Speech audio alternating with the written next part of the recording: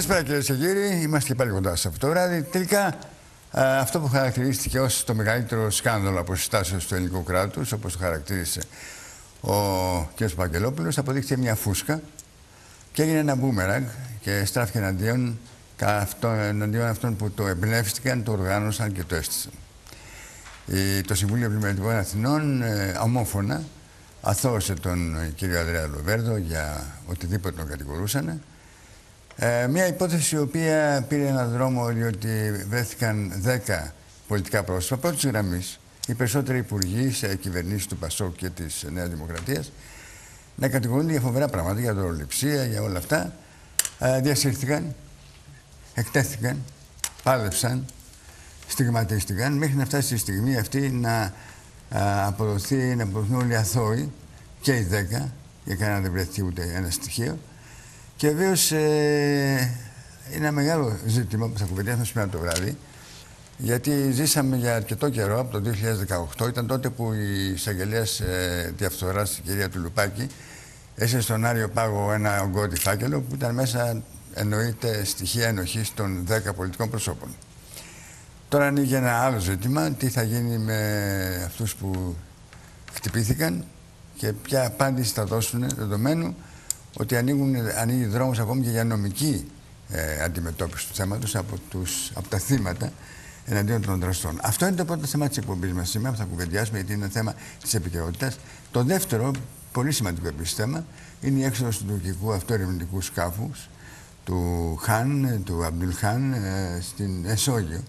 Ε, για την ώρα ο, ο Ερντογάν έχει επιλέξει μια μετριοπαθή στάση στο θέμα αυτό. Δεν έστειλε το σκάφος αυτό να κάνει έρευνες ούτε στην υφαλοκρηπίδα, την ελληνική, ούτε στα ελληνικά νερά, αλλά το έχει κρατήσει ακόμη σε, στη θάλασσα που είναι, ανήκει στην Τουρκία ουσιαστικά, στην υφαλοκρηπίδα που είναι της Τουρκίας, κοντά βέβαια στην, ε, στην Κύπρο.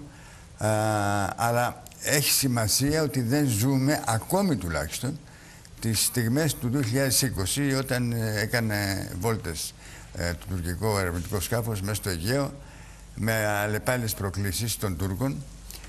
Ε, θα δούμε γιατί έχει αποφασίσει αυτή την τακτική ο Ερντογάν. Πολλοί λένε ότι μετράει τις αντοχές και της Ελλάδας και της Ευρωπαϊκής Ένωσης και της Αμερικής. Αυτά λοιπόν τα δύο θέματα θα κουβεντιάσουμε σήμερα, κυρίες και κύριοι, με τους καλεσμένους μας που είναι ο κύριος Γιώργος Κουμουτσάκος, ο βουλευτής της Νέας Δημοκρατίας. Καλησπέρα κύριε Κουμουτσάκο. Καλησπέρα κύριε Χαρδαβέλα. Καλησπέρα στους τηλεθεατές. Ασχολείται με θέματα εξωτερικής πολιτικής ιδιαίτερα και είναι καλός γνώστης των θεμάτων αυτών. Και δεξιά μου είναι ο κύριος ε, Παναγιώτης Βλάχος. Καλησπέρα κύριε Βλάχο. Πολύ καλησπέρα. Που είναι μέλο της ε, πολιτικής επιτροπής του ΠΑΣΟΚ, του, του ΠΑΣΟΚ Κινάλ. Και βεβαίως στο Skype θα έχουμε τον κύριο Μανώλη Φράγκο, που είναι βουλευτής της Ελληνικής Λύσης. Καλησπέρα κύριε Φράγκο. Καλησπέρα σας. Μια διευκρίνηση με Ευρωβουλευτής. Σας ευχαριστώ θερμά για την φιλοξενία. Ευχαριστώ πάρα πολύ. Λοιπόν, να ξεκινήσουμε τον κύριο Κουμουτσάκο. Τελικά, ας έρθουμε στο ασθενή από την Νοβάρτη. Τι αφήνει πίσω της αυτή η ιστορία, κύριε Κουμουτσάκο. Έτσι όπως έχει φτάσει, έχει κλείσει ουσιαστικά. Κύριε Βέλα, εγώ στην, από την ιστορία της Νοβάρτης θυμάμαι εκείνη τη φοβερή βραδιά με τις κάλπες 10 για 10 πολιτικούς, πρώην Πρωθυπουργό, δύο πρώην πρωθυπουργούς, τον κύριο Σαμαρά, τον κύριο Πικραμένο, υπουργούς, όλοι κατηγορούμενοι ως ε, συμμετέχοντες στη μεγαλύτερη σκευωρία και στο μεγαλύτερο, στο μεγαλύτερο σκάνδαλο του σύγχρονου ελληνικού κράτους. Μια διαδικασία ευτελιστική για τα δέκα αυτά πρόσωπα, τα οποία αποδεικνύονται όλα αθώα. Μια συγκλονιστική στιγμή μιας θα έλεγα, παραβίασης της κοινοβουλευτικής και νομικής τάξης της χώρας. Όλη αυτή η ιστορία αποδεικνύεται σήμερα κενή περιεχομένου. Και πράγματι είναι η ώρα εκείνων που μετά από περίπου τρία χρόνια μεγάλων προσπαθειών και αγώνων δικαιώνονται να αντιμετωπίσουν αυτή την, αυτό το πλήγμα στην προσωπικότητα, στην, στην αξιοπρέπειά τους, στην πολιτική τους διαδρομή.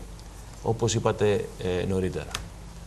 Η ιστορία Νοβάρτης τελικά νομίζω ότι καταγράφεται στη συνείδηση της μεγάλης πλειοψηφίας των Ελλήνων ως μια απόπειρα σπήλωσης πολιτικών αντιπάλων χωρίς πραγματική υπόσταση και χωρίς πραγματικά και θεμελιωμένα στοιχεία. Άρα είναι μια υπόθεση που έχει μόνο μεγάλη πολιτική, κοινωνική και νομική απαξία. Και αυτό θα ακολουθεί εκείνους που την εμπνεύστηκαν, τη σχεδίασαν και την υλοποίησαν. Δηλαδή, μεγάλα στελέχη του, του, ε, του ΣΥΡΙΖΑ που αυτή τη στιγμή αντιμετωπίζουν τη δικαιοσύνη τα ίδια, όπως ο κ. Παγγελόπουλος. Κύριε Βλάχο, ε, σε όλο αυτό το διάστημα που το ζούμε, από το 18, από το 17, δηλαδή τα τελευταία πέντε χρόνια περίπου, ε, βιώνουμε αυτόν τον διασυρισμό αυτών των 10 ανθρώπων ε, με βίο και σκληρό τρόπο μερικές φορές. Έφτασαν τελικά στη δικαίωση τους, αλλά δεν ξέρω εάν η, και η απόφαση τη, τη, του Συμβουλίου Πλημμυριωτικών ουσιαστικά δικαιώνει τους ανθρώπους αυτούς ή πρέπει κάτι παραπάνω να γίνει για να δικαιωθούν οι όλοι; Κύριε Χαρδαβέλα, μιας και βρισκόμαστε σε ένα αντίστοιχα ζωφερό θεσμικό κλίμα αυτές τις μέρες, δεν μπορεί κανείς να μην επιχειρεί να κάνει αναλογίες ή να διαπιστώνει ότι δυστυχώς κάνουμε διαρκώς βήματα προς, προς, πίσω, προς τα πίσω. Ε, σήμερα η, η απαλλαγή του κυρίου Λοβέρδου ουσιαστικά είναι μια θετική είδηση και είναι μια είδηση που ουσιαστικά δικαιώνει και τον ίδιο για την απόφασή του να παραιτηθεί και από τη Βουλευτική Ασυλία για να φτάσει υπόθεση σε βάθος, αλλά ταυτόχρονα επιβεβαιώνει και επιβραβεύει και τη θεσμική στάση του Πασόκ, το οποίο όλο αυτό το διάστημα, χωρίς τυμπανοκρουσίες, χωρίς κορώνες, χωρίς ιστερίες και παροξισμούς, εμπιστεύτηκε τη δικαιοσύνη και με θεσμικό τρόπο ε, λειτουργήσε και στο κομμάτι της ε, Εξεταστικής Επιτροπής, αλλά και στη συνέχεια με όσε αποκαλύψεις ακολούθησαν. Δεν υπάρχει αμφιβολία ότι πρακτικές πολιτικού ρευανσισμού ή εξόντωση των πολιτικών αντιπάλων, όπως είναι το σκέλος το οποίο συζητάμε, τους 10 αυτούς πολιτικούς δημόσια πρόσωπα τα οποία βρέθηκαν στο στόχαστρο της κυβέρνησης Ριζανέλ είναι πρακτικές οι οποίες δεν πρέπει να τις ξαναδούμε και σε κάθε περίπτωση είναι πρακτικές οι οποίες υποβαθμίζουν και τη δημοκρατία και την ποιότητα της, του πολιτεύματος και του δημοσίου διαλόγου και τελικά δυναμητίζουν και τις σχέσεις μέσα στο πολιτικό σύστημα. Ναι. Άρα λοιπόν ε, είναι θετικό το σημερινό βήμα, η σημερινή απόφαση. Ευχόμαστε και ελπίζουμε να μην ξαναδούμε τέτοιες σκευωρίες, τέτοιες επιθέσεις ρευανσιστικές σε πολιτικά πρόσωπα. Κύριε Φράγκο, είναι δεδομένη η, θέση και της Νέας Δημοκρατίας και του ΠΑΣΟΚ ε, τις αποφάσεις αυτές τις αθωτικές και για τους 10 πολιτικούς. ΣΥΡΙΖΑ βεβαίως και περιμένουμε και την αντίδραση. Ακόμη δεν υπάρχει μια επίσημη αντίδραση για την πλήρη αθώωση Λοβέρδο από την πλευρά ε, της Κουμουνδούρου. Ε, δεν ξέρω τι θα πει. Μέχρι στιγμής τουλάχιστον ε, διατηρεί πολλές επιφυλάξεις για τις αποφάσεις αυτές ο ΣΥΡΙΖΑ. Η ελληνική λύση ποια θέση έχει; Πιστεύετε ότι υπήρξε μια, ένα, μια στημένη υπόθεση εναντίον 10 πολιτικών οι οποίοι δικαιώνονται τώρα και ορθώς δικαιώνονται; Κοιτάξτε, αυτό η ελληνική λύση δεν είναι η δουλειά της να, κάνει, να αντικαταστήσει το ρόλο της δικαιοσύνης. Όλο το τελευταίο διάστημα δυστυχώς και λόγω των κακών αποφάσεων με συγχωρείτε όχι των κακών αποφάσεων, των κάποιων αποφάσεων της δικαιοσύνης που διεγείρουν ερωτήματα και λόγω του κλίματος που δημιουργείται κυρίως από τα δύο πρώτα κόμματα, ο κόσμος και οι Έλληνες πολίτες δείχνουν να έχουν χάσει την εμπιστοσύνη τους στη δικαιοσύνη και αυτό θεωρώ ότι είναι το πιο προβληματικό και το πιο ανησυχητικό που επικρατεί στην όλη κατάσταση, διότι καταλαβαίνετε ότι ένα από τα πιο σημαντικά όργανα της δημοκρατίας είναι και η δικαιοσύνη. Ε, εμείς σεβόμαστε τις απόψεις της δικαιοσύνης και όταν μιλάει δικαιοσύνη, ουσιαστικά δεν υπάρχουν πολλά που μπορούν να υποθούν, αλλά αναμφίβολα βλέποντας και όλες τις καταγγελίες που υπήρξαν το τελευταίο διάστημα σχετικά με την Οβάρτης και από τους μάρτυρες και από, το, από την έρευνα που έγινε στην Αμερική, ε, θεωρώ ότι ευλόγως θα δημιουργηθούν ε, κάποια ερωτήματα στους Έλληνες πολίτες σχετικά με τη συγκεκριμένη απόφαση και καλό θα είναι να διαλευκανθεί και να δοθούν όλα τα στοιχεία στη δημοσιότητα και ουσιαστικά και η εταιρεία αλλά και όσοι αποδειχθεί ότι έκλεψαν χρήματα από το ελληνικό δημόσιο, αυτό που ζητάμε είναι να επιστραφούν στο κράτος. Ναι. Κύριε Κομουτζάκο, πόσο κακό έχει κάνει στην πολιτική ζωή του τόπου αυτή η υπόθεση, ε, πόσο την έχει δηλητηριάσει ή πόσο έχει κλονιστεί αυτό που λέει ο κ. Φράγκος και η εμπιστοσύνη του κόσμου και στους πολιτικούς γενικότερα. Δυστυχώς και κάνετε την ερώτηση σε ένα πολιτικό που πιστεύει στην ε, εθνική ομοψυχία, ειδικά στη χώρα μας που αντιμετωπίζει τόσες προκλήσεις, όχι μόνο εσωτερικές που πρέπει να προχωρήσουμε με γρήγορα βήματα, αλλά και εξωτερικές. Ε, αυτός ο συνεχής δηλητηριασμός της πολιτικής ζωής και δια της πολιτικής ζωής της κοινή γνώμης μας πάει πάρα πολύ πίσω, μας κάνει πάρα πολύ κακό.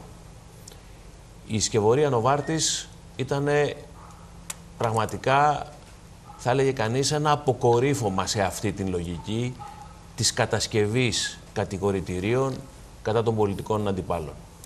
Και ο δηλητηριασμός που έφερε και η ένταση που έφερε και η πόλωση που έφερε είναι βέβαιο ότι δεν θα επουλωθεί εύκολα, διότι υπάρχουν δέκα πολύ σοβαρά πολιτικά στελέχη τα οποία έχουν διασυρθεί επί πολλά χρόνια. Και αυτή η πληγή δεν κλείνει εύκολα.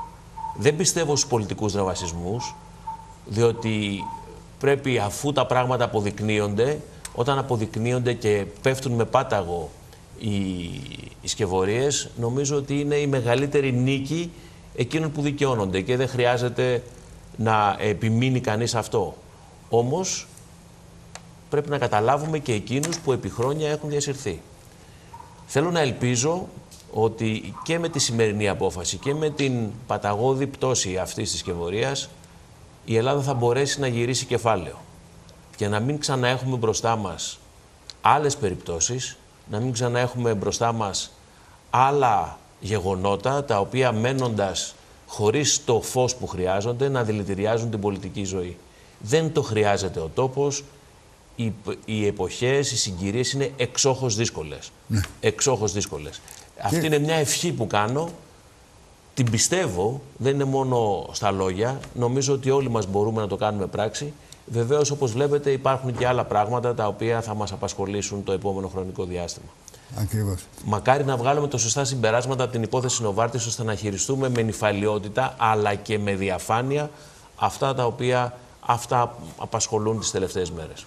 Κύριε Βλάχο, νομίζω ότι δημιουργούνται και ποινικά ζητήματα για τους ε, δράστες ή τους θύτες ή αυτούς που οργάνωσαν αυτή την υπόθεση που αποδείχτηκε μια φούσκα. Υπάρχουν και ποινικές ευθύνες ε, με, πιθανό, με πιθανή εξέλιξη ο, ο κ. Λοβέντος ή ο κ. Βενιζέλος ή άλλοι ή ο κ. Γεωργιάδης να στραφούν εναντίον των θητών και νομικά να τους ζητήσουν δηλαδή εξηγήσεις, αποζημιώσεις κλπ. Αυτό δεν το ξέρω. Αυτό είναι κάτι το οποίο ναι, θα αποφασίσουν. Προφανώς. Απλά το κουβεντιάζουμε σαν ενδεχόμενο. Μπορεί να στραφούν για, για ζητήματα που αφορούν τη συκοφάντηση, της προσωπικότητάς τους, μπορούν να στραφούν εναντίον τους για άλλα ζητήματα. Το σημαντικό είναι ότι αυτές οι υποθέσεις, κύριε Χαρδαβέλα, πρέπει να γίνονται αφορμή για να θωρακίζουμε τους θεσμούς, να βρίσκουμε αντίβαρα και ασφαλιστικές δικλείδες απέναντι στην αυθαιρεσία των δημοσίων λειτουργών. Η υπόθεση της Νοβάρτης έφτασε στα όρια του τη σχέση της ουσιαστικά εκτελεστικής εξουσίας με τη δικαστική. Ουσιαστικά γι' αυτό μιλάμε, για μια διαπλοκή δικαστικής με την εκτελεστική εξουσία. Και πώς τελικά μπορεί να εργαλειοποιηθεί η δικαιοσύνη από την κάθε κυβέρνηση προκειμένου να εξοντώσει, να εκδικηθεί, να στριμώξει πολιτικούς αντιπάλους. Θυμίζω, μιας και είναι και επίκαιρο τώρα με τις υποκλοπές, ότι ο Ανδρέας Παπανδρέου κοντά στην πρωτοχρονιά του 1995, εσείς κύριε Χαρδαβέλα τα θυμάστε, ε, ουσιαστικά έβαλε ένα stop σε αυτή την ιστορία του πολιτικού ρευαντισμού και της δίωξης των ναι, ναι. πολιτικών αντιπάλων τότε με την υπόθεση Γρυλάκη και Μαυρίκη, με τις παρακολουθήσεις δηλαδή τις παράνομες. Και το έκανε όχι γιατί δεν υπήρχαν στοιχεία ή δεν θα μπορούσε το Πασόκ τότε να στήσει άλλο ένα χορό με δικαστικές διερευνήσεις και παραπομπές. Είναι γιατί πρέπει τους στην πολιτική έχουμε αντιπάλους και δεν έχουμε εχθρούς. Και πρέπει τα όποια χτυπήματα εντός εισαγωγικών να γίνονται πάνω από τη ζώνη και να σεβόμαστε όλους τους κανόνες του δημοκρατικού παιχνιδιού. Όταν χρησιμοποιούμε το πολίτευμα ή τη, δικαστική εξουσία είτε τη Βουλή για να κομματικοποιούμε και για να στοχοποιούμε και να εκδικούμαστε τους πολιτικούς μας αντιπάλους, τότε και η δημοκρατία χάνει και η ελευθερία χάνει και βρισκόμαστε σε ζωφερές περιόδους που τελικά αυτός που γυρίζει και αποστρέφεται το πολιτικό σύστημα είναι ο πολίτης. Και επειδή το ζήσαμε τα τελευταία δέκα χρόνια με την άνοδο της νεοφασιστικής Χρυσής Αυγής, θα πρέπει το πολιτικό σύστημα με αυτά που συμβαίνουν τώρα με τις υποκλοπές να είναι πάρα, πάρα πολύ αποφασιστικό για να μην μείνει καμία κοιλίδα πάνω ναι. στη δικαιοσύνη και στην εκτελεστική εξουσία. Θέλω να κάνω μια διόρθωση στον όρο υποκλοπές. Ο όρος που αυτή τη στιγμή χρησιμοποίησε ο κύριος Βλάχος δεν είναι ο όρος ε, που εκ των πραγμάτων έχει τεθεί στη δημόσια σφαίρα. Είναι οι τηλεφωνικές, αν θέλετε, ε, παρακολουθήσεις, δεν είναι υποκλοπές και όσον αφορά την αγωγή που έκανε ο κύριος Ανδρουλάκης ήταν απόπειρα παρακολούθησης. Επομένως, το να σπέβδουμε να υιοθετήσουμε αυτόν τον βεβαρημένο όρο των υποκλοπών νομίζω ότι δεν συντρέχει με την παρούσα τουλάχιστον εξέλιξη των πραγμάτων στο θέμα της, ε, ε, στο, στο θέμα Ανδρουλάκη και στο θέμα του Predator κτλ. Δεν, αυτή τη στιγμή ο όρος αυτός δεν μπορεί να υιοθετηθεί. Μπορεί αύριο να μπορεί. Αλλά σήμερα δεν μπορεί να υιοθετηθεί και θέλω να του τονίσω. Ναι, το παραδέχτηκε ο Πρωθυπουργός, με συγχωρείτε. Ο Πρωθυπουργός τι είπε προχθές; Έστω και έτσι και με αυτή τη ρητορία την πάρα, πάρα πολύ αποπροσανατολιστική, παραδέχθηκε ότι δεν τηρήθηκε ο νόμος. Ότι έγιναν ολισθήματα, όπως έγραψε. Ε, Νόμιμο λάθος. Ο, Προ- ο Πρωθυπουργός μίλησε για νόμιμη, ε, για νόμιμη παρακολούθηση, τηλεφωνική παρακολούθηση, την οποία ο ίδιος δεν θα δεχόταν. Αλλά Ναι. Δεν- δεν- νομίζω συγγνώμη, ότι το δεν να είναι και η αναπαράγουμε κάτι που είναι Ε. κυρίαρχο παντού και να ξαναπούμε τα ίδια πράγματα, νομίζω παρέλκει. Το θέμα είναι για μένα είναι πολύ πιο γενικό και πολιτικό. Δεν επιτρέπεται και δεν θα πρέπει να επιτρέψουμε. Και νέοι πολιτικοί όπως ε, όσοι συμμετέχουν σήμερα σε αυτή τη συζήτηση, δεν θα πρέπει να επιτρέψουμε με κανέναν τρόπο αυτόν τον κλειδονισμό της εμπιστοσύνης των πολιτικών ε, των πολιτών προς την πολιτική, της κοινωνίας προς τη δικαιοσύνη. Έχουμε μια μάχη να δώσουμε. Μια μάχη παιδευτική, μια μάχη εμπιστοσύνης, μια μάχη, ε, αν θέλετε, αξιοπιστίας της πολιτικής. Είναι μια δύσκολη, είναι μια δύσκολη μάχη που κερδίζεται μόνο με επιμονή σε συγκεκριμένες αρχές. Κύριε Βράγο, να κλείσουμε το θέμα αυτό όμως της, ε, ε, της Νοβάρτης.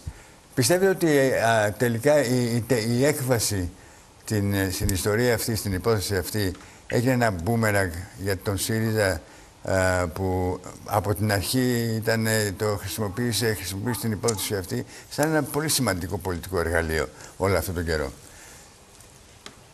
Κοιτάξτε, θεωρώ ότι γίνεται δυστυχώς, όπως προείπα, πολιτική πάνω σε υποθέσεις που θα έπρεπε να αφορούν αποκλειστικά τη δικαιοσύνη και γι' αυτό, κατά την προσωπική μου άποψη, φέρει ένα μερίδιο ευθύνη η ίδια η δικαιοσύνη.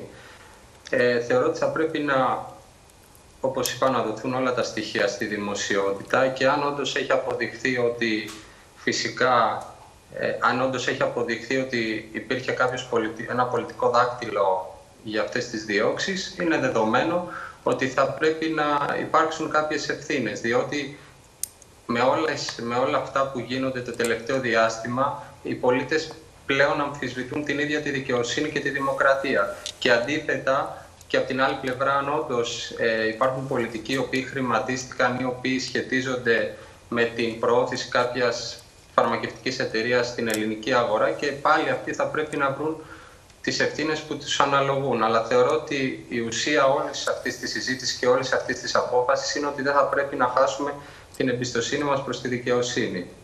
Σωστά. Λοιπόν, να περάσουμε τώρα σε ένα άλλο θέμα, κύριε και κύριοι, που το βιώνουμε από χθες. Όταν ξεκίνησε αυτό το σούπερ ερευνητικό α, σκάφος της Τουρκίας, του Αμπτούλ Χαμίτ, ε, και βγήκε από το τουρκικό λιμάνι και μπήκε στην Μεσόγειο. Πολύ προσεκτικές κινήσεις, δεν πέρασε ούτε προ- πλησίασε καν την ελληνική υφαλοκρηπίδα. Είναι σε τουρκικά νερά αυτή τη στιγμή και όλοι αναρωτιούνται ε, ποια θα είναι η επόμενη μέρα. Οι έρευνες θα γίνουν εκεί μόνο σε τουρκικές, ε, σε τουρκικό χώρο ή ε, θα δούμε το πλοίο αυτό να μπαίνει και μέσα στα ελληνικά χωρικά ύδατα.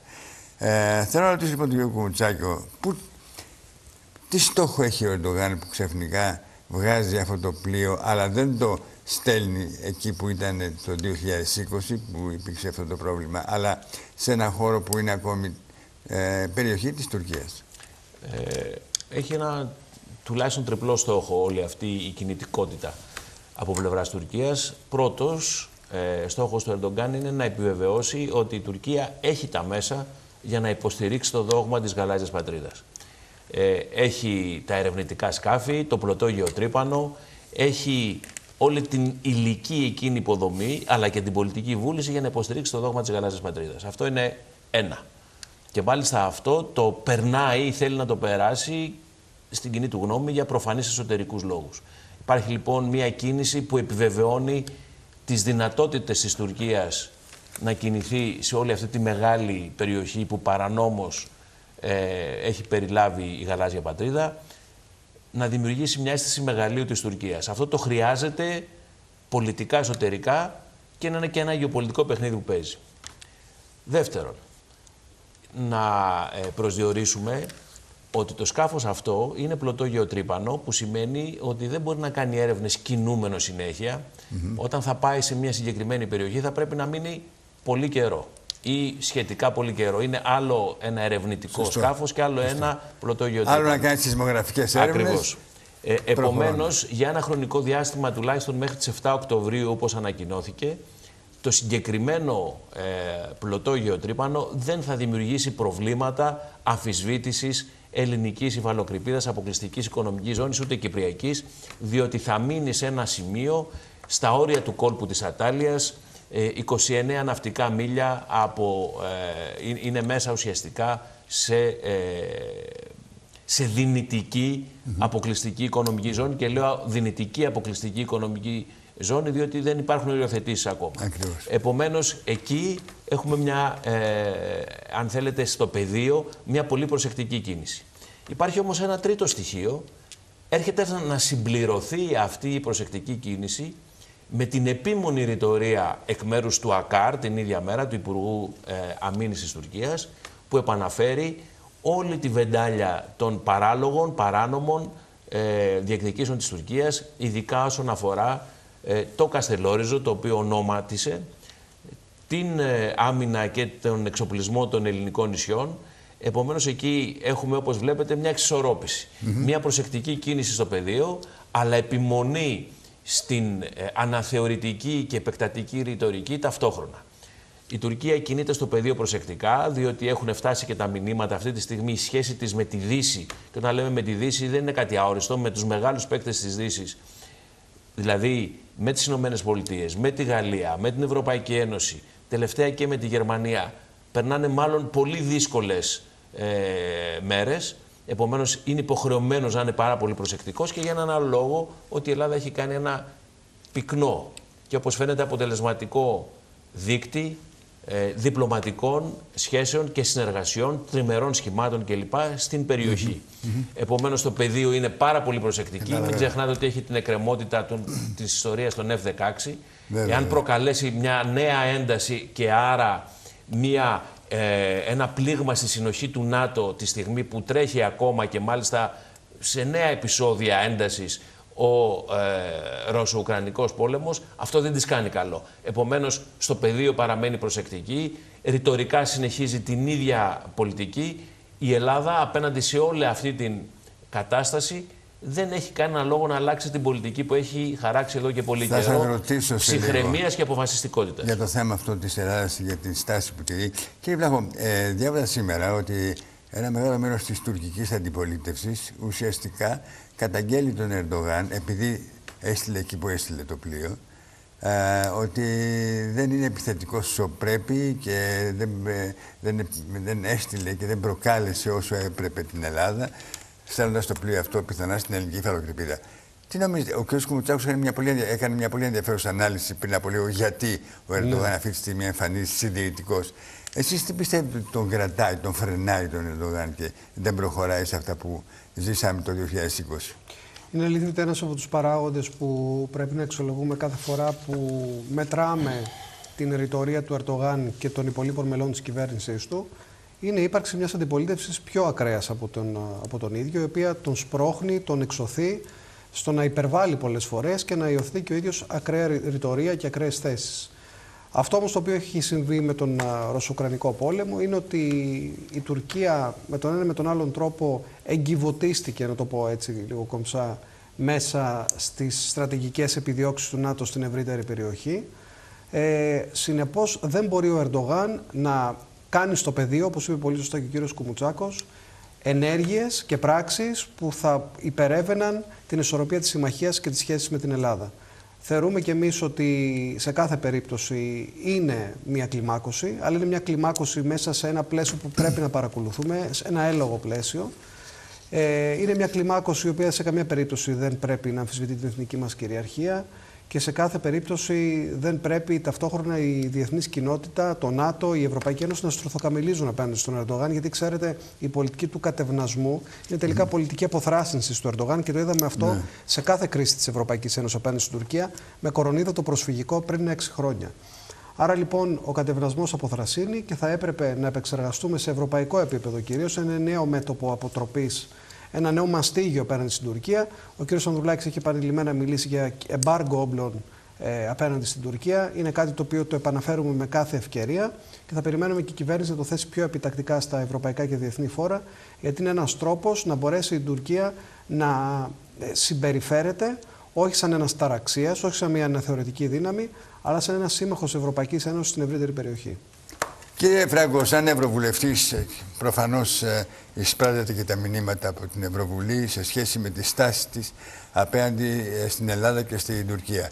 Ποια είναι η δική σας διαπίστωση, ε, ποια είναι η στάση, ποια είναι η άποψη της Ευρωβουλής για όλα αυτά που συμβαίνουν με τις απειλές και τις προκλήσεις του Ερντογάν; Κοιτάξτε, δυστυχώς η Ευρωπαϊκή Ένωση επιλέγει να ακολουθήσει την πολιτική των ίσων αποστάσεων όλο το τελευταίο διάστημα σε σχέση με την Ελλάδα, την Κύπρο, δύο κράτη-μέλη της Ευρωπαϊκής Ένωσης και την Τουρκία, ένα μη κράτος μέλος της Ευρωπαϊκής Ένωσης και δυστυχώς όλη αυτή η ανοχή ε, αναπτύσσει το θράσος του Ερντογάν.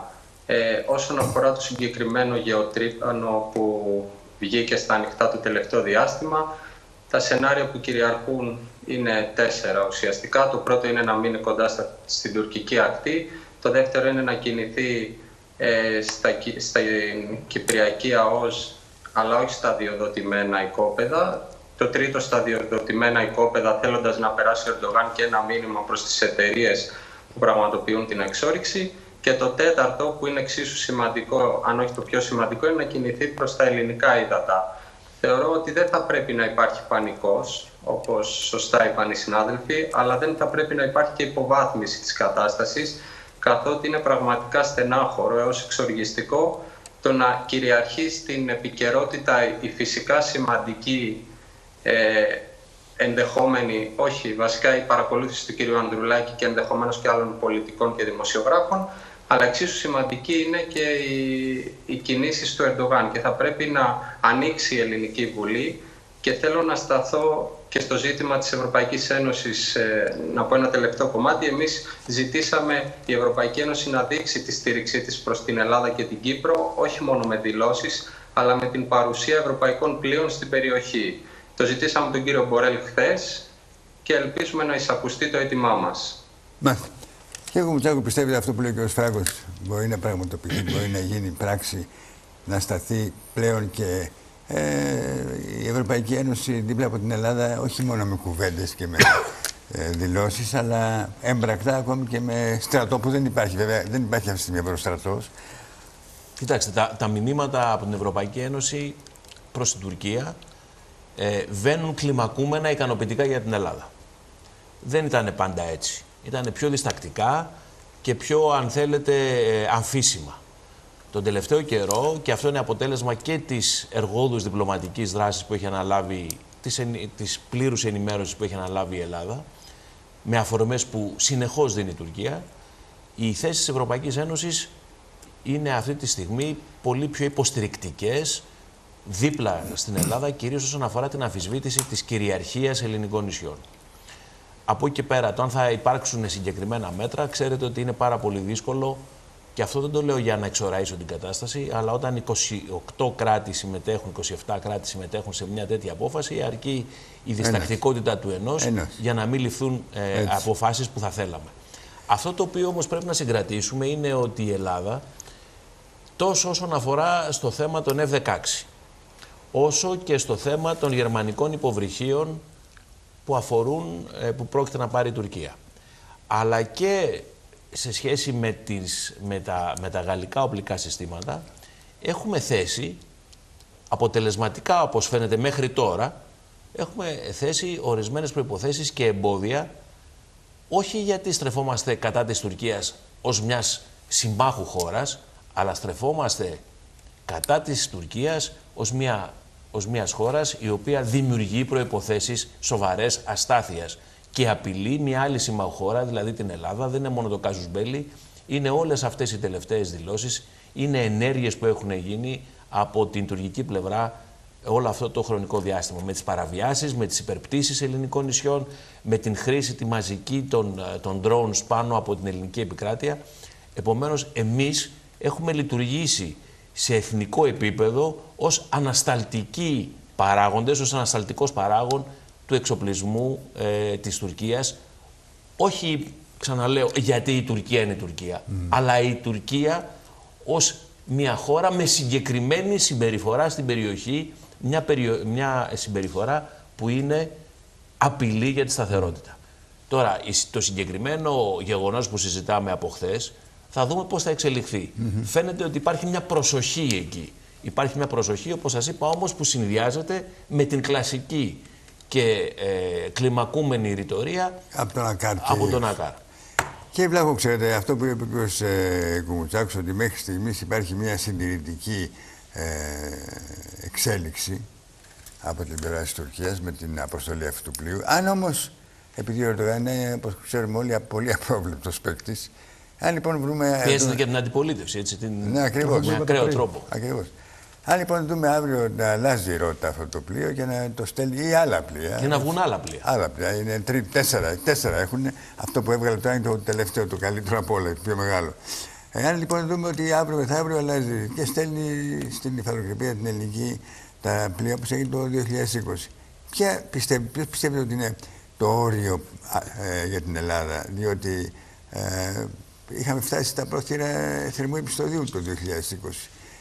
Που, πώς μπορεί να, να αντιμετωπίσει η Ελλάδα μια τέτοια περίπτωση πάλι; Το όριο της Ελλάδας είναι πάντα η εθνική της κυριαρχία και τα κυριαρχικά δικαιώματα έτσι όπως αυτά ορίζονται από το διεθνές δίκαιο και από το δίκαιο της θάλασσας. Βέβαια η Τουρκία δεν αναγνωρίζει το δίκαιο της θάλασσας όπως γνωρίζουμε πάρα πολύ καλά, αλλά το αναγνωρίζουν οι σύμμαχοί μας και βάσει αυτού δια, διαμορφώνονται και οι συμμαχίες στην ευρύτερη ε, μεσογειακή περιοχή και στις ευρωπαϊκές θάλασσες. Νομίζω ότι το πρόβλημα με την, με την Τουρκία δεν είναι ένα πρόβλημα της στιγμής, ούτε ένα πρόβλημα συγκυριακό, είναι ένα πρόβλημα το οποίο θα αναμοχλεύεται και θα επανέρχεται τουλάχιστον μέχρι τις τουρκικές εκλογές. Ο Ερντογάν γνωρίζει τώρα, για να με λέμε και τα πράγματα με το όνομά τους, γνωρίζει ότι η Δυτική Συμμαχία δεν βλέπει στο πρόσωπο του, μάλλον δεν βλέπει στο πρόσωπο κάποιου άλλου μια διάδοχη κατάσταση, μια εναλλακτική. Και αυτό τον ε, ενδυναμώνει ακόμα περισσότερο και του δίνει και τη δυνατότητα, όπως είπατε και εσείς, να αυξομειώνει τη θερμοκρασία. Ο Ερντογάν το τελευταίο διάστημα, όπως είπαμε και προηγουμένως, έδειξε σημάδια συνεννόησης με τον ΝΑΤΟ και τις ΗΠΑ έχει ενσωματωθεί στην ευρύτερη στρατηγική στην περιοχή. Θεωρώ ότι δεν θα διαταράξει αυτή τη σχέση με τις ΗΠΑ παρά τα όποια σκαμπανεβάσματα. Αλλά σε κάθε περίπτωση οι δικές μας ε, ένοπλες δυνάμεις, δεν χρειάζεται να το λέω, είναι αυτονόητο, πρέπει και θα είναι σε ετοιμότητα για να αντιμετωπίσουν κάθε παραβίαση η οποία μπορεί να προκύψει. Σε κάθε περίπτωση, ξαναλέω, το πολιτικό σύστημα πρέπει να είναι ενωμένο και θα είναι ενωμένο, γιατί αν μη τι άλλο, παίρνει πρώτα η πατρίδα και μετά η οποιαδήποτε κομματική αντιπαράθεση. Να δούμε αυτό που λέει ο κύριος ε, Βλάχος, κύριε Φράγκο. Πιστεύετε ότι μπορεί και πρέπει να υπάρχει μια εθνική συνεννόηση για το θέμα αυτό γενικά της Τουρκίας α, και ποια είναι η θέση της ελληνικής λύσης στο θέμα αυτό, δηλαδή της εθνικής ομόνιας, της σύγκλησης, της συμπόρευσης με όλα τα κόμματα. Κοιτάξτε, φυσικά θα πρέπει να υπάρχει σε τέτοια ζητήματα μια εθνική ομόνια, αλλά για να υπάρξει μια εθνική ομόνια θα πρέπει πρωτίστως να υπάρξει μια ενημέρωση των πολιτικών αρχηγών για όλα αυτά τα ζητήματα, κάτι το οποίο ο κ. Μητσοτάκης επανελειμμένως αποφεύγει να το κάνει. Δηλαδή βλέπουμε για ζητήματα εξωτερικών υποθέσεων πολύ σημαντικά για τη χώρα να κινεί τη Νέα Δημοκρατία μονομερός ουσιαστικά και να υπάρχει ένα έλλειμμα επικοινωνίας και ενημέρωσης προς τις υπόλοιπες πολιτικές δυνάμεις του τόπου. Όσον αφορά όμως την Ευρωπαϊκή Αλληλεγγύη, επειδή έγινε μια αναφορά, εμείς θεωρούμε ότι έχει αποτύχει η ελληνική κυβέρνηση και αυτό εδράζει στο ότι πέρα από δηλώσεις τα τελευταία χρόνια τα οποία τα εγκλήματα της Τουρκίας ουσιαστικά είναι πάρα πολλά από το αποζητήματα παράνομης μετανάστευσης όπου η Τουρκία κάνει τον διακινητή ουσιαστικά ενώ παίρνει την ίδια στιγμή δισεκατομμύρια από την Ευρωπαϊκή Ένωση μέχρι το άνοιγμα των βαροσίων, τις παράνομες γεωτρήσεις και έρευνες στην Ανατολική Μεσόγειο, τις καθημερινές παραβιάσεις. Δεν έχουμε δει την παραμικρή κύρωση από την Ευρωπαϊκή Ένωση σε βάρος της Τουρκίας και τη στιγμή που υπάρχουν μόνο δηλώσεις στήριξης, τη στιγμή ε, πάντα όμως συνδυάζονται με δηλώσεις στήριξης και προς την Τουρκία και μας αναφέρουν πόσο σημαντική είναι για την Ευρωπαϊκή Ένωση η Τουρκία, ε, δεν υπάρχει στην πράξη κάτι πέρα από αυτό. Οπότε είναι κρίμα η Νέα Δημοκρατία να δηλώνει ότι όλα είναι καλά και ότι όλα είναι εντάξει από την Ευρωπαϊκή Ένωση, διότι ουσιαστικά αυτό που κάνουμε είναι να δείχνουμε ότι είμαστε ικανοποιημένοι και ευχαριστημένοι από αυτή τη μετριοπάθεια, αν όχι την, ε, το άδειασμα που μας κάνει η Ευρωπαϊκή Ένωση καθημερινά και σε εμάς φυσικά και στην Κύπρο. Ναι. Θα πρέπει φυσικά να αυξηθούν ναι. Μόνο αυτό θα ήθελα να συμπληρώσω. Θα πρέπει να αυξηθούν οι απαιτήσεις της ελληνικής κυβέρνησης προς την Ευρωπαϊκή Ένωση, ιδιαίτερα τώρα που είναι μια τόσο σημαντική περίοδος. Όχι, ναι, ναι, ε, θέλω να πω δύο πράγματα. Πρώτα απ' όλα, η Ευρωπαϊκή Ένωση δεν είναι ε, κάτι ενιαίο, δεν υπάρχει κάπου μια Ευρωπαϊκή Ένωση. Οι αποφάσεις, ειδικά στην εξωτερική πολιτική και στην άμυνα, απαιτούν ομοφωνία των 27 κρατών μελών. Δηλαδή, η Ευρωπαϊκή Ένωση εδώ είναι οι κυβερνήσεις των κρατών μελών της. Όταν υπάρχει έστω και ένας που διαφωνεί, δεν υπάρχει πολιτική. Επομένως, δεν υπάρχει μια Ευρωπαϊκή Ένωση. Υπάρχουν 27 κυβερνήσεις που πρέπει να ομονοήσουν σε κάτι συγκεκριμένο. Δεν νομίζω ότι η Ευρωπαϊκή Ένωση έχει δηλώσει ότι είναι πάρα πολύ σημαντική η Τουρκία για την Ευρωπαϊκή Ένωση. Η Τουρκία είναι από μόνη της μια σημαντική χώρα, έτσι κι αλλιώς. Αντιθέτως, θα έλεγα ότι η Ευρωπαϊκή Ένωση έχει μια σχέση ατελή με την Τουρκία επί περισσότερο από 60 χρόνια. Αν σκεφτείτε ότι είναι μία από τις χώρες που ξεκίνησε να έχει συμφωνία σύνδεσης το 62 αν δεν κάνω λάθος και μέχρι τώρα δεν έχει ευοδοθεί αυτή η σχέση. Ακόμα βρίσκεται σε μια κατάσταση παγωμένης κάτω από το μηδέν ε, ενταξιακής διαδικασίας. Ουσιαστικά είναι σε βαθιά κατάψυξη η, η, η σχέση Τουρκίας-Ευρωπαϊκής Ενώσεως. Δεν βλέπω η Ευρωπαϊκή Ένωση, τα κράτη-μέλη της, η γραφειοκρατία της Ένωσης να δείχνουν μια ε, τόσο μεγάλη αγάπη και δείχνουν ότι είναι εγωιτευμένοι από την Τουρκία. Αντιθέτως, βάζουν θέματα ανθρωπίνων δικαιωμάτων, διεθνούς συμπεριφοράς. Γι' αυτό και δεν προχωράει η σχέση Ευρωπαϊκής Ενώσεως Τουρκίας. Όσον αφορά όμως τις επιμέρους πολιτικές των κρατών μελών, εκεί έρχεται η ελληνική διπλωματία για να προωθήσει τις ελληνικές θέσεις. Δεν δήλωσα ικανοποιημένος από τη στάση της Ευρωπαϊκής Ένωσης ως ένα άθροισμα εθνικών θέσεων. Είπα ότι πολλές φορές το να περιμένουμε μέτρα ή να καλλιεργούμε την εντύπωση ότι θα υπάρξουν μέτρα και κυρώσεις στην Τουρκία, ενώ ξέρουμε ότι δεν το επιτρέπει ο συσχετισμός δυνάμεων μέσα στην Ευρωπαϊκή Ένωση, νομίζω ότι είναι ναι. ουσιαστικά μια παραπλάνηση του ελληνικού λαού. Αυτό δεν σημαίνει ότι με καθιστά ικανοποιημένο. Και ένα τελευταίο. Αυτά τα οποία συμβαίνουν τώρα και αυτά τα οποία κάνει τώρα η Τουρκία τα αντιμετωπίζουμε συχνά σαν να ξεχνάμε ότι αυτή είναι μια στρατηγική της επιδίωξη πάνω από μισό αιώνα. Και θα μου επιτρέψετε να διαβάσω μία, έχω μία, ένα σύνολο δηλώσεων του 74, του 75, για να δούμε ότι η στρατηγική είναι η ίδια, η ίδια και απαράλλακτη, επίμονη. Διαβάζω λοιπόν δήλωση του Υπουργού Άμυνας τότε Χασάνη Σικ του 1978.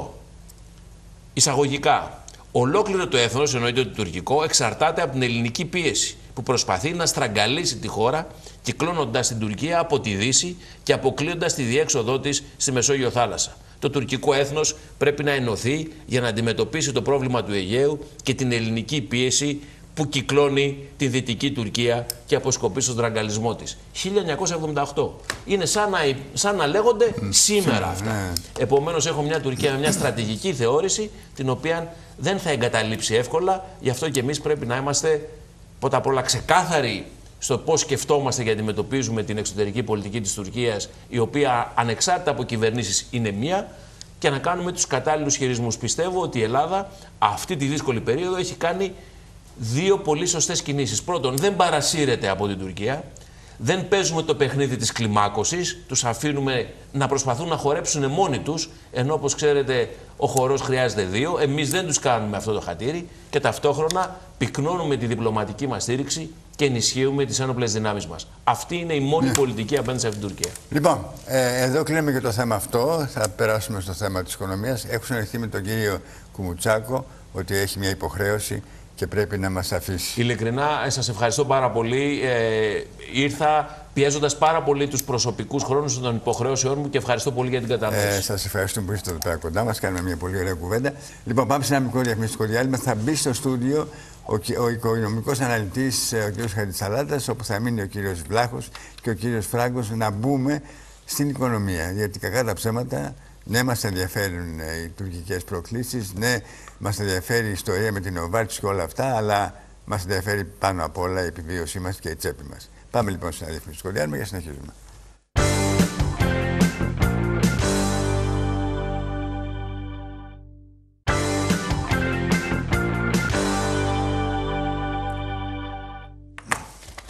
Καλησπέρα κύριε Καλησπέρα λέω. Συνεχίζουμε.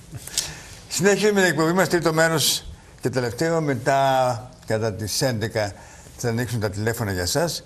Κοντά μας είναι ο κύριος Χαριτσαλάτας, ο οικονομικός αναλυτής. Καλησπέρα κύριε Χαριτσαλάτα. Καλησπέρα σας κύριε Χαρδαβέλα, καλησπέρα κύριε Βλάχο, καλησπέρα στους uh, τηλεθεατές.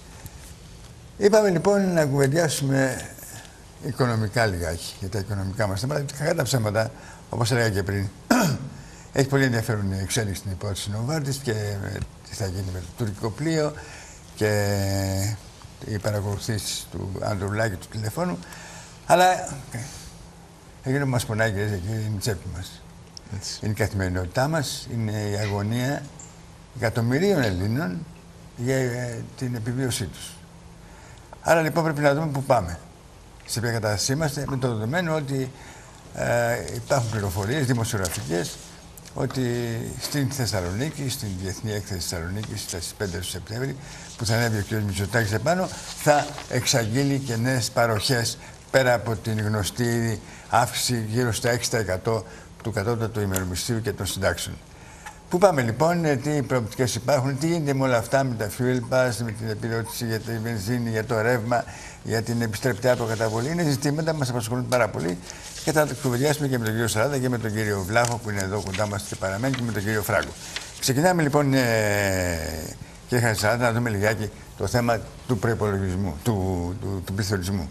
Με το δεδομένο ότι η Ελστάτ έδωσε κάποια στοιχεία ότι υπήρξε μια πολύ μικρή κάμψη του πληθωρισμού τον προηγούμενο μήνα, αλλά έχει κάποιες εξηγήσει αυτό το πράγμα. Ουσιαστικά περιμένουμε αύξηση του πληθωρισμού τους επόμενους μήνες.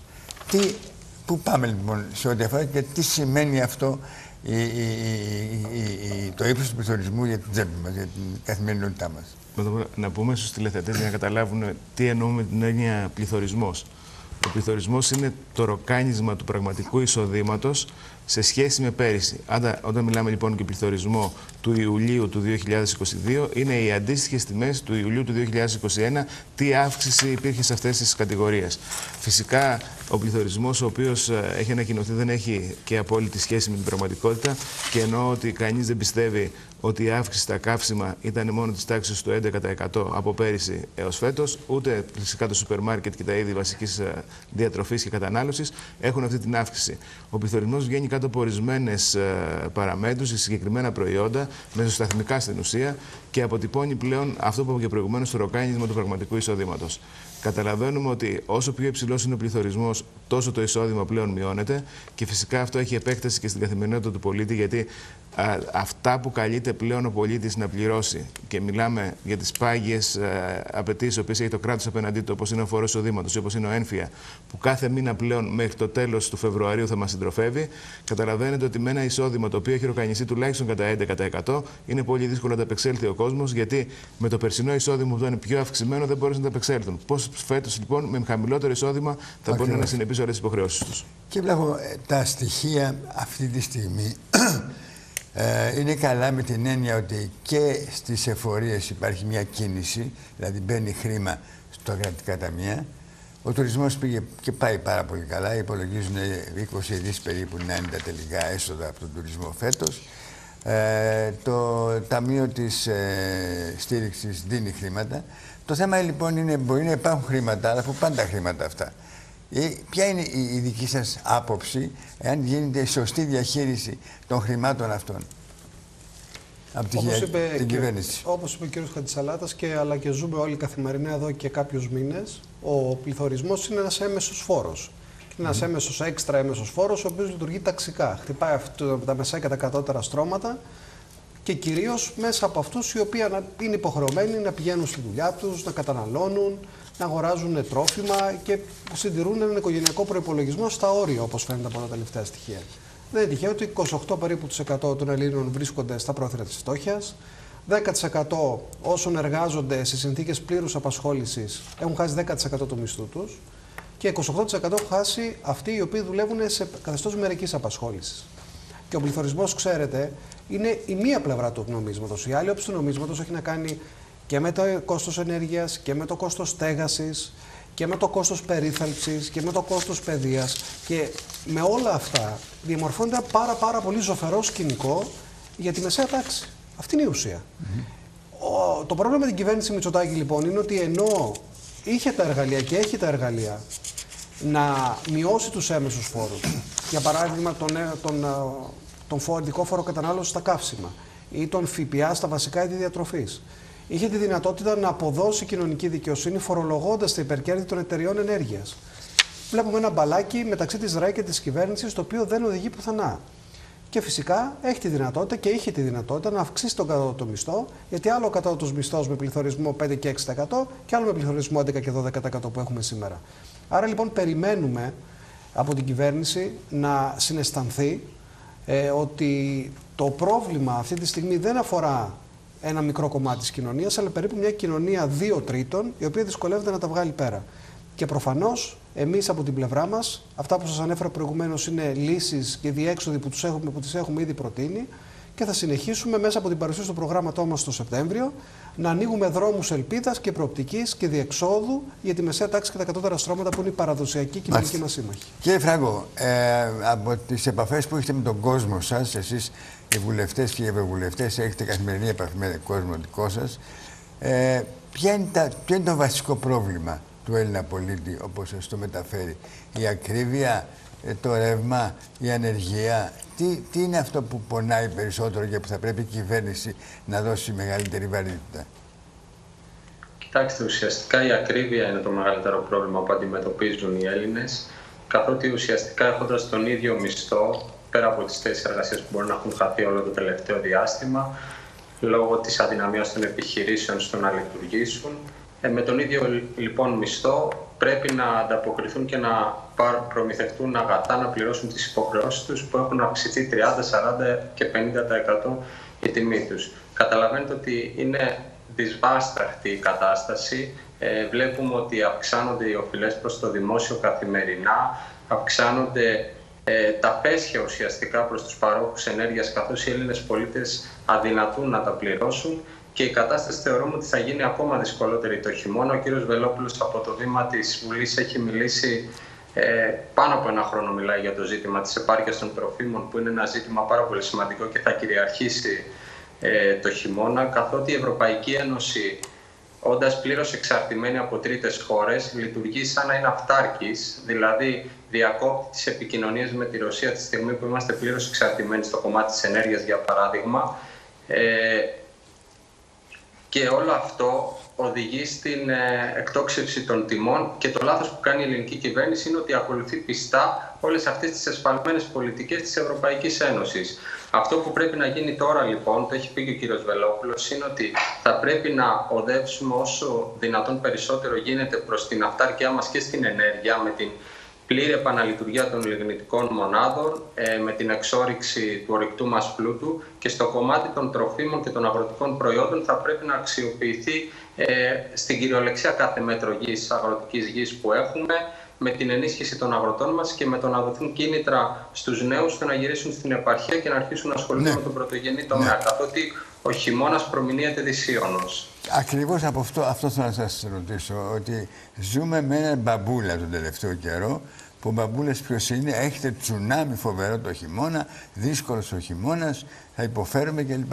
Ποια είναι η προοπτική πώς η, η, και πώ η δυσκολία έμπασε τόσο που θα αντιμετωπίσουμε; Αρκεί να σας πω κύριε Χαρδαβέλα ότι ο Έλληνας πολίτης τις 181 ημέρες το χρόνο δουλεύει για να πληρώνει υποχρεώσεις εκ των οποίων οι 76 ημέρες είναι για τους άδικους τους έμεσους φόρους, αυτούς τους φόρους οι οποίοι δεν μετράνε τι εισόδημα έχει ο πολίτης, είναι ίδιοι για όλους όπως είναι στα καύσιμα, στα καπνικά προϊόντα κτλ.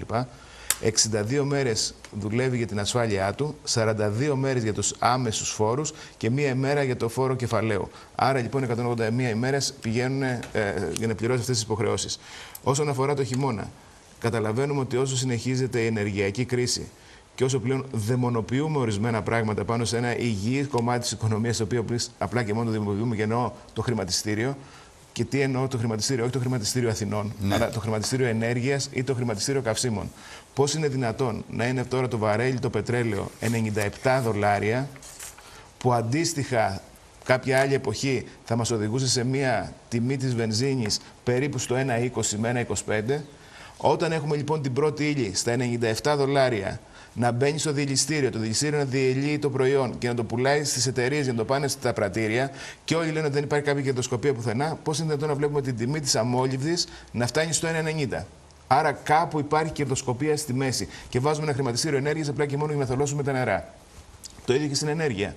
Δεν είναι δυνατόν αυτή τη στιγμή να μπαίνουν δυναμικά στο παιχνίδι της ενέργειας οι ανανεώσιμες πηγές που είναι φτηνή ενέργεια στην ουσία. Μιλάω για ολικά και φωτοβολταϊκά πάρκα, ε, υδροελεκτρική σταθμή. Ο λιγνίτης επανήλθε κακό για το περιβάλλον, καλό για την τσέπη. Και φτάνουμε σε ένα σημείο αυτή τη στιγμή πλέον να μπαίνουμε σε ρήτρα φυσικού αερίου, λες και οι υπόλοιπες πηγές δεν συνεισφέρουν. Και όταν πάμε να δούμε για ποιο λόγο γίνεται αυτό, να μας λένε ότι το χρηματιστήριο ενέργειας του Άμστερνταμ διαμορφώνει αυτές τις τιμές. Καταλαβαίνετε λοιπόν ότι όσο διαρκεί αυτή η κρίση και όσο πλέον μπαίνουμε σε αυτές τις ατροπούς, θα είναι πάρα πολύ δύσκολος ο χειμώνας, γιατί υπάρχουν και πάρα πολλές υποχρεώσεις και όπως είπαμε και προηγουμένως, χαμηλά εισοδήματα. Δύο παρατηρήσεις μόνο σε αυτά τα χρήσιμα που λέγατε, που λέγατε προηγουμένως. Αυξήθηκαν οι εισρωές χρημάτων προς το δημόσιο, όντως, γιατί έχουμε το 24% επάνω στα καύσιμα που είναι πολύ υψηλές οι τιμές τους, άρα το 24% ε, είναι αρκετά έσοδα για το δημόσιο. Επίσης μπήκαν οι επιστρεπτές προκαταβολές, πολλοί άρχισαν και πληρώνουν επιστρεπτές προκαταβολές. Συν το γεγονός ότι άρχισε πλέον και το εισόδημα και το έμφυα όσοι μπορούν να πληρώσουν. Παράλληλα όμως, και μην το παραβλέπουμε αυτό, γιατί θα υπάρχει κοινωνική έκρηξη, θα το δούμε. Είχαμε 800.000 νέους οφειλέτες προς το δημόσιο μόνο το μήνα Μάιο. Μόνο το μία Μάιο, 800.000 συμπολίτες μας δεν μπόρεσαν να ανταπεξέλθουν στις υποχρεώσεις και έγιναν πλέον οφειλέτες στο δημόσιο. Και επειδή λέμε για τον τουρισμό που όντως πάει πάρα πολύ καλά φέτος και είναι ατμομηχανή της οικονομίας μας και μακάρι να πάει όσο δίνεται καλύτερα, διαβάζουμε όμως και ορισμένα δημοσιεύματα που λένε ότι τα επαγγέλματα γύρω από την α, διαμονή, γύρω από τα ξενοδοχεία, δηλαδή τις εστίασει και άλλα μαγαζιά, δεν παίρνουν και τις καλύτερες ημέρες τους. Ο κόσμος δεν καταναλώνει χρήματα στις άλλες επιχειρήσεις που είναι γύρω-γύρω από τα ξενοδοχεία, αλλά πληρώνει χρήματα, έρχεται κόσμος στην χώρα μας, μπαίνει σε μια διαδικασία πλέον όντως να έχει διαμονή στη χώρα. Πολλές επιχειρήσεις φυσικά πληρώνουν πακέτα στο εξωτερικό που είναι πιο φθηνά από ό,τι είναι στη χώρα μας. Και στο τέλος, φυσικά, τα χρήματα τα οποία θα περισσέψουν, μακάρι να είναι αυτά τα οποία προπολογίζουμε, αλλά θα υπάρχουν και παράπλευρες απώλειες στα υπόλοιπα επαγγέλματα που είναι γύρω-γύρω από τη διαμονή. Ναι. Για πες μου, κύριε Βλάχο, το Πασόκ που μελετάει και τις οικονομικές εξελίξεις σε αυτή τη χώρα, που έχει καταλήξει ότι τι θα πρέπει να γίνει άμεσα τώρα για να μπορέσει να ορθοποδήσει λιγάκι ο Έλληνας πολίτης να σηκώσει λίγο το κεφάλι του. Ποια θα πρέπει να είναι η άμεση, γιατί έχει κάνει κάποιες παρεμβάσεις με το έμφυα, με την ε, Είπαμε, ε, ε, fuel ε, pass και κάτι τέτοια. Υπάρχουν άμεσα μέτρα, κύριε Χαρδαβέλα, και, βραχυ, και βρα- βραχυπρόθεσμα και μεσοπρόθεσμα. Εμείς έχουμε μιλήσει για ένα νέο ΕΚΑΣ, γιατί αντιλαμβανόμαστε όλοι ότι οι συνταξιούχοι είναι αρκετά στριμωγμένοι. Έχουμε πει για πλαφόν στη λιανική τιμή της ενέργειας, ούτως ώστε να επιμεριστεί δίκαια το κόστος μεταξύ παρόχου, παραγωγού και κράτους. Και φυσικά έχουμε στα χέρια μας ένα αναπτυξιακό υπερόπλο, το Ταμείο Ανάκαμψης, το οποίο όπως βλέπουμε ένα μεγάλο κομμάτι τους παταλιέται τελικά σε μικροέργα αμφισβητούμενης παραγωγικότητας και αποδοτικότητας για την ελληνική οικονομία, ενώ θα μπορούσαμε με αυτό να θωρακίσουμε τόσο το ενεργειακό μας μέλλον, όσο και την κοινωνική μας συνοχή μέσα από την ενίσχυση του εθνικού συστήματος υγείας. Για παράδειγμα, το, η Ελλάδα αυτή τη στιγμή έχει ένα δίκτυο, ενεργειακό δίκτυο, το οποίο είναι αποδυναμωμένο. Δεν μπορείς αυτή τη στιγμή να στήσεις φωτοβολταϊκά στη στέγη σου για να είσαι ενεργειακά αυτάρκης, γιατί δεν μπορεί να το σηκώσει και το δίκτυο της ΔΕΗ. Όπως και η Ελλάδα έχει χαμηλή διασυνδεσιμότητα, δεν είναι δηλαδή όπως η Πορτογαλία, η οποία στηρίζεται μέσα σε ανανεώσιμες πηγές ενέργειας, αλλά έχει και τη δυνατότητα να διασυνδέεται ε, με ξένα δίκτυα όπως, είναι, ε, όπως δεν είναι αυτή τη στιγμή η ελληνική πραγματικότητα. Άρα έχουμε ένα υπερόπλο στο οποίο θα μπορούσαμε να ενισχύσουμε τα δίκτυά μας, να θωρακίσουμε το ενεργειακό μας μείγμα, να δώσουμε μεγαλύτερη έμφαση σε ανανεώσιμες πηγές ενέργειας, να πρασινίσουμε τα κτίρια μας, να δώσουμε δηλαδή τη δυνατότητα για κατασκευές, να αναθερμανθεί περισσότερο η οικονομία ενεργειακά ε, αποδοτικές και φιλικές στο περιβάλλον και να δώσουμε κίνητρα στους παραγωγούς, για παράδειγμα στους αγρότες, στους βιοτέχνες, να δημιουργήσουν ενεργειακές κοινότητες, ώστε να παράγουν οι ίδιοι το ρεύμα που χρειάζονται για τις δραστηριότητές τους. Από εκεί και πέρα, η ελληνική οικονομία, όπως φαίνεται και από τα στοιχεία που βλέπουμε όλοι μας, όλα αυτά τα χρόνια της γαλάζιας κανονικότητας, αντί να κάνει κινήσεις εξωστρέφειας, κάνει κινήσεις εσωστρέφειας. Χειροτερεύει το εμπορικό ισοζύγιο, μεγαλώνει η, η εσωτερική κατανάλωση και δυστυχώς πάμε να μετατραπούμε σε μια χώρα η οποία περιμένει με απλωμένο το χέρι κάθε καλοκαίρι τον τουρίστα για να μπορέσει να ορθοποδήσουν τα οικονομικά της. Αντιλαμβανόμαστε όμως ότι αυτή δεν είναι μια βιώσιμη στρατηγική ανάπτυξης, είναι μια κοντόθωρη στρατηγική ανάπτυξης. Γιατί τι κάνουμε, επιβαρύνουμε το φυσικό μας πλούτο, επιβαρύνουμε τα νησιά μας, ε, δεν μεριμνούμε ταυτόχρονα τόσο ώστε να διασυνδέσουμε και την παραγωγή μας αλλά και τις υπόλοιπες οικονομικές δραστηριότητες με τον τουρισμό σε μια πιο λειτουργική και φιλική στο περιβάλλον διάσταση και εξαρτώμαστε και από τη διεθνή συγκυρία. Φανταστείτε δηλαδή αν αυτή την περίοδο είχαμε μια προσφυγική κρίση λόγω, ή μια ένταση με την Τουρκία μεγαλύτερη ναι. από αυτή που έχουμε σήμερα, δεν θα μπορούσαμε να μιλάμε για μια καλή τουριστική σεζόν. Άρα λοιπόν η ελληνική οικονομία χρειάζεται να γίνει παραγωγική και ανταγωνιστική και αυτό θα το πετύχει όταν αρχίσει να παράγει προϊόντα υψηλής προστιθέμενης αξίας, διασυνδέσει την, τον πρωτογενή της τομέα και με το τουριστικό προϊόν και δώσει και έμφαση στην περιφερειακή ανάπτυξη, γιατί αυτή τη στιγμή, κακά τα ψέματα, η περιφέρεια, πέρα, πέρα από την αποβιομηχάνηση που έζησε την προηγούμενη 20 ετία, αυτή τη στιγμή ζει και, ένα, και μια θλιβερή λοιπόν. αποχώρηση ανθρώπινου δυναμικού. Κύριε Φράγκο, ε, επειδή όλοι περιμένουμε με πολύ μεγάλο ενδιαφέρον την εμφάνιση του Πρωθυπουργού στην Διεθνή Έκθεση Θεσσαλονίκης στις 5 Σεπτέμβρη, όπου γράφονται καθημερινά διάφορα ρεπορτάζ, υπάρχουν ότι θα υπάρξουν δωράκια, στο βάλουμε έτσι σαν λέξη χαριτωμένη, του Πρωθυπουργού στον ελληνικό λαό, θα υπάρχουν νέες παροχές κλπ. Εσείς τι περιμένετε, τι θα θέλατε να ακούσετε από τον Πρωθυπουργό στα γένεια της Θεσσαλονίκης πέραν της αναμενόμενη αύξηση περίπου στα 5,5 με 6% του κατώτατου μισθού και των συντάξεων.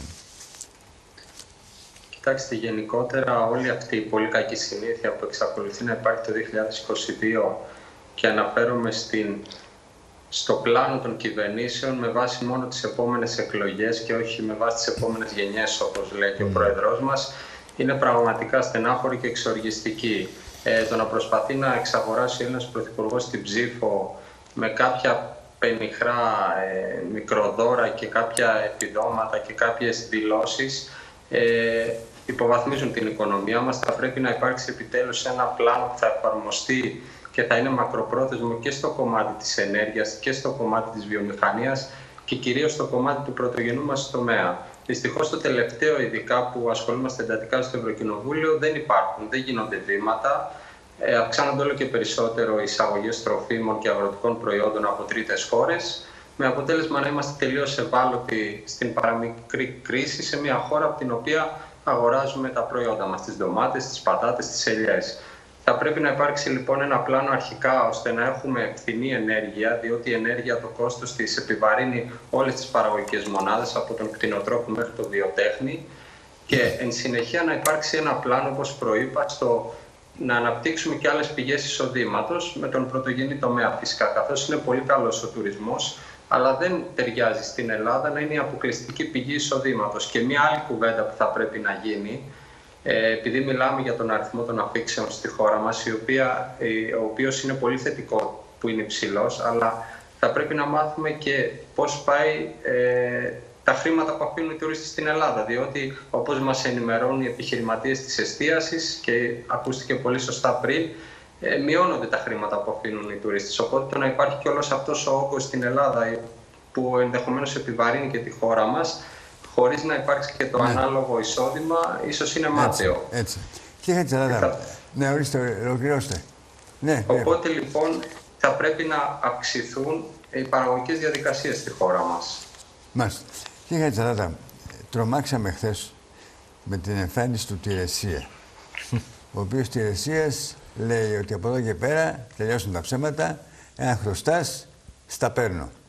Το μισθό, τη σύνταξη, τις καταθέσεις και επειδή λίγο πριν είπατε ότι είναι 800.000 οι Έλληνες αυτή τη στιγμή που δεν μπόρεσαν να πληρώσουν την εφορία χρέη, τι γίνεται με αυτή την ιστορία, πού, πού πάμε με τον Τηρεσία δηλαδή; Με τον νέο Τηρεσία. Με τον νέο Τηρεσία, ο οποίος θα είναι ο μεγάλος αδερφό όσον αφορά τις υποχρεώσεις του πολίτη και στον ιδιωτικό τομέα, μιλάμε για τράπεζες δηλαδή, αλλά και στο δημόσιο και σε ασφαλιστικά ταμεία θα μπορέσει πλέον να είναι ένας μηχανισμός ο οποίος θα ανταλλάσσει πληροφορίες και πιστεύω ότι θα είναι κάποιος πολίτης που θέλει είτε να κάνει μία ρύθμιση, είτε να πάρει κάποιο δάνειο, να παίρνει τα επιστευτήρια από αυτόν τον συγκεκριμένο οργανισμό. Ε, να θυμίσω επίσης ότι από Σεπτέμβριο ξεκινάνε τσουνάμι πληστηριασμών πλέον που η πρώτη κατοικία δεν θα προστατεύεται. Τα μεγάλα αφάνεια του εξωτερικού έχουν πάρει το κομμάτι το μεγάλο των ακινήτων και πλέον μπαίνουν σε μια διαδικασία αυτά να πάνε σε πληστηριασμό. Και αυτοί οι πληστηριασμοί, κύριε Χαρδαβέλα, δυστυχώς δεν θα είναι άγωνοι όπως ήταν τις προηγούμενες χρονιές, αλλά πλέον θα υπάρχει ενδιαφέρον από την άλλη και τα σπίτια πλέον θα αλλάζουν κατόχους. Να πούμε ότι έρχεται το πρόγραμμα ίσπραξης, το νέο πρόγραμμα του Υπουργείου Οικονομικών της ΑΔΕ, που πλέον θα υπάρχει μια διασύνδεση από το ΜΑΕΑΔΕ, το τάξη, το ίσι, το έλεγχο, το κτηματολόγιο και το γεμί, με αποτέλεσμα να γίνονται αυτόματοι πλέον πληστηριασμοί, αυτόματες ενημερώσεις. Ε, ο φιλέτης θα ενημερώνεται ηλεκτρονικά για τη διαδικασία που θα ακολουθεί πάνω στην περιουσία του και στι οφειλές τι οποίες έχει. Κάθε δύο μήνες περίπου θα πραγματοποιούνται διασταυρώσεις και συμψηφισμοί σε όλα αυτά τα ποσά. Και επίσης να ξέρουμε ότι θα πραγματοποιούνται ηλεκτρονικές ειδοποιήσεις, κοινοποίησεις όπως προηγουμένως, αυτόματοι ψηφισμοί, ηλεκτρονικές κατασχέσεις, καταθέσει, εισοδήματα και περιουσιακά στοιχεία μόνο και μόνο με το ίσπραξη. Όταν θα πάρουμε λοιπόν τον Τηρεσία που είπατε προηγουμένως πολύ σωστά, τον ηλεκτρονικό μάτι πλέον που θα έχει και στο δημόσιο και στο ιδιωτικό χρέος, έχουμε από την άλλη το ίσπραξη, έχουμε και τις κατασχέσεις και έχουμε και την αδυναμία του πολίτη να είναι συνεπής στι υποχρεώσεις του με αποτέλεσμα πλέον πολλοί πολίτες να κινδυνεύουν να χάσουν το σπίτι τους ή οτιδήποτε έχουν με κόπο και υδρότα στην άκρη της τράπεζα. Προς Θεού δεν μιλάμε για τους κακοπληρωτές, τους στρατηγικού, μιλάμε για τον απλό τον κόσμο. Και φανότερο ε, παράδειγμα ήταν αυτό το οποίο έγινε με το θέμα των ρυθμίσεων των κορονοχρεών, που ήταν άτοκες δόσεις σε βάθος εξαετίας και παρόλα αυτά οι πολίτες δεν μπόρεσαν να μπουν μέσα σε ένα διακανονισμό άτοκο. Μόλις μεταβίασε το 10% μπήκε στη διαδικασία και κινδυνεύει πλέον όλοι αυτοί να μπουν σε μια διαδικασία οι οφειλές τους να είναι ληξιπρόθεσμες και να ενεργοποιηθούν αναγκαστικά μέτρα ίσπραξης. Και να τονίσουμε εδώ για να το ξέρει ο κόσμος, όταν υπάρχει μία οφειλή και ρυθμίσουμε την οφειλή, τουλάχιστον σταματάμε τη διαδικασία των αναγκαστικών μέτρων. Εάν έρθουν αναγκαστικά μέτρα και ρυθμίσουμε μετά την οφειλή, δεν έρονται τα αναγκαστικά μέτρα. Θα πρέπει να πληρώσουμε τις οφειλές μας και μετά πλέον να έρθει η κατάσταση του ελπιστικού μας λογαριασμό ή στο σπίτι ή σε οπουδήποτε αλλού. Προσοχή λοιπόν μεγάλη, πριν φτάσουμε στη διαδικασία να μπορούμε πλέον να προστατεύσουμε το σπίτι μας, το εισόδημά μας ή οτιδήποτε, εάν έχουμε τη δυνατότητα να μπούμε και να μπούμε στη διαδικασία ρύθμισης, που δυστυχώς είναι με λίγες δόσεις, 12-24 για πάγιους φόρους, 24-48 σε περίπτωση κληρονομιάς ή φορολογικού ελέγχου. Να ξέρει ο κόσμος ότι η μόνη του προστασία δυστυχώς σε αυτή την περίπτωση είναι μόνο η ρύθμιση να προηγηθεί της κατάσχεσης. Άρα λοιπόν θέλω να ρωτήσω το εξής πράγμα, γιατί ο κόσμος ανασυχεί πάρα πολύ μέχρι Δικαίως. Και δικαίως. Ηλεκτρονικά ουσιαστικά θα γίνεται όλη, θα υπάρχει Βεβαίως. η κατάσχεση και το... Δηλαδή ένας που χρωστάει ακόμη και λίγα... Με... Καταρχήν υπάρχει ένα πλαφόν χρέους όπου εκεί πέρα παρεμβαίνει η εφορία και σου τα παίρνει από παντού. Υπάρχει ένα πλαφόν, το φυσικά αυτό δεν μπαίνει σε μια δικασία ποτέ η εφορία να το, παρουσ... να το παρογκατοποιήσει. Είναι ένα πλαφόν 500 ευρώ. Που 500 ευρώ.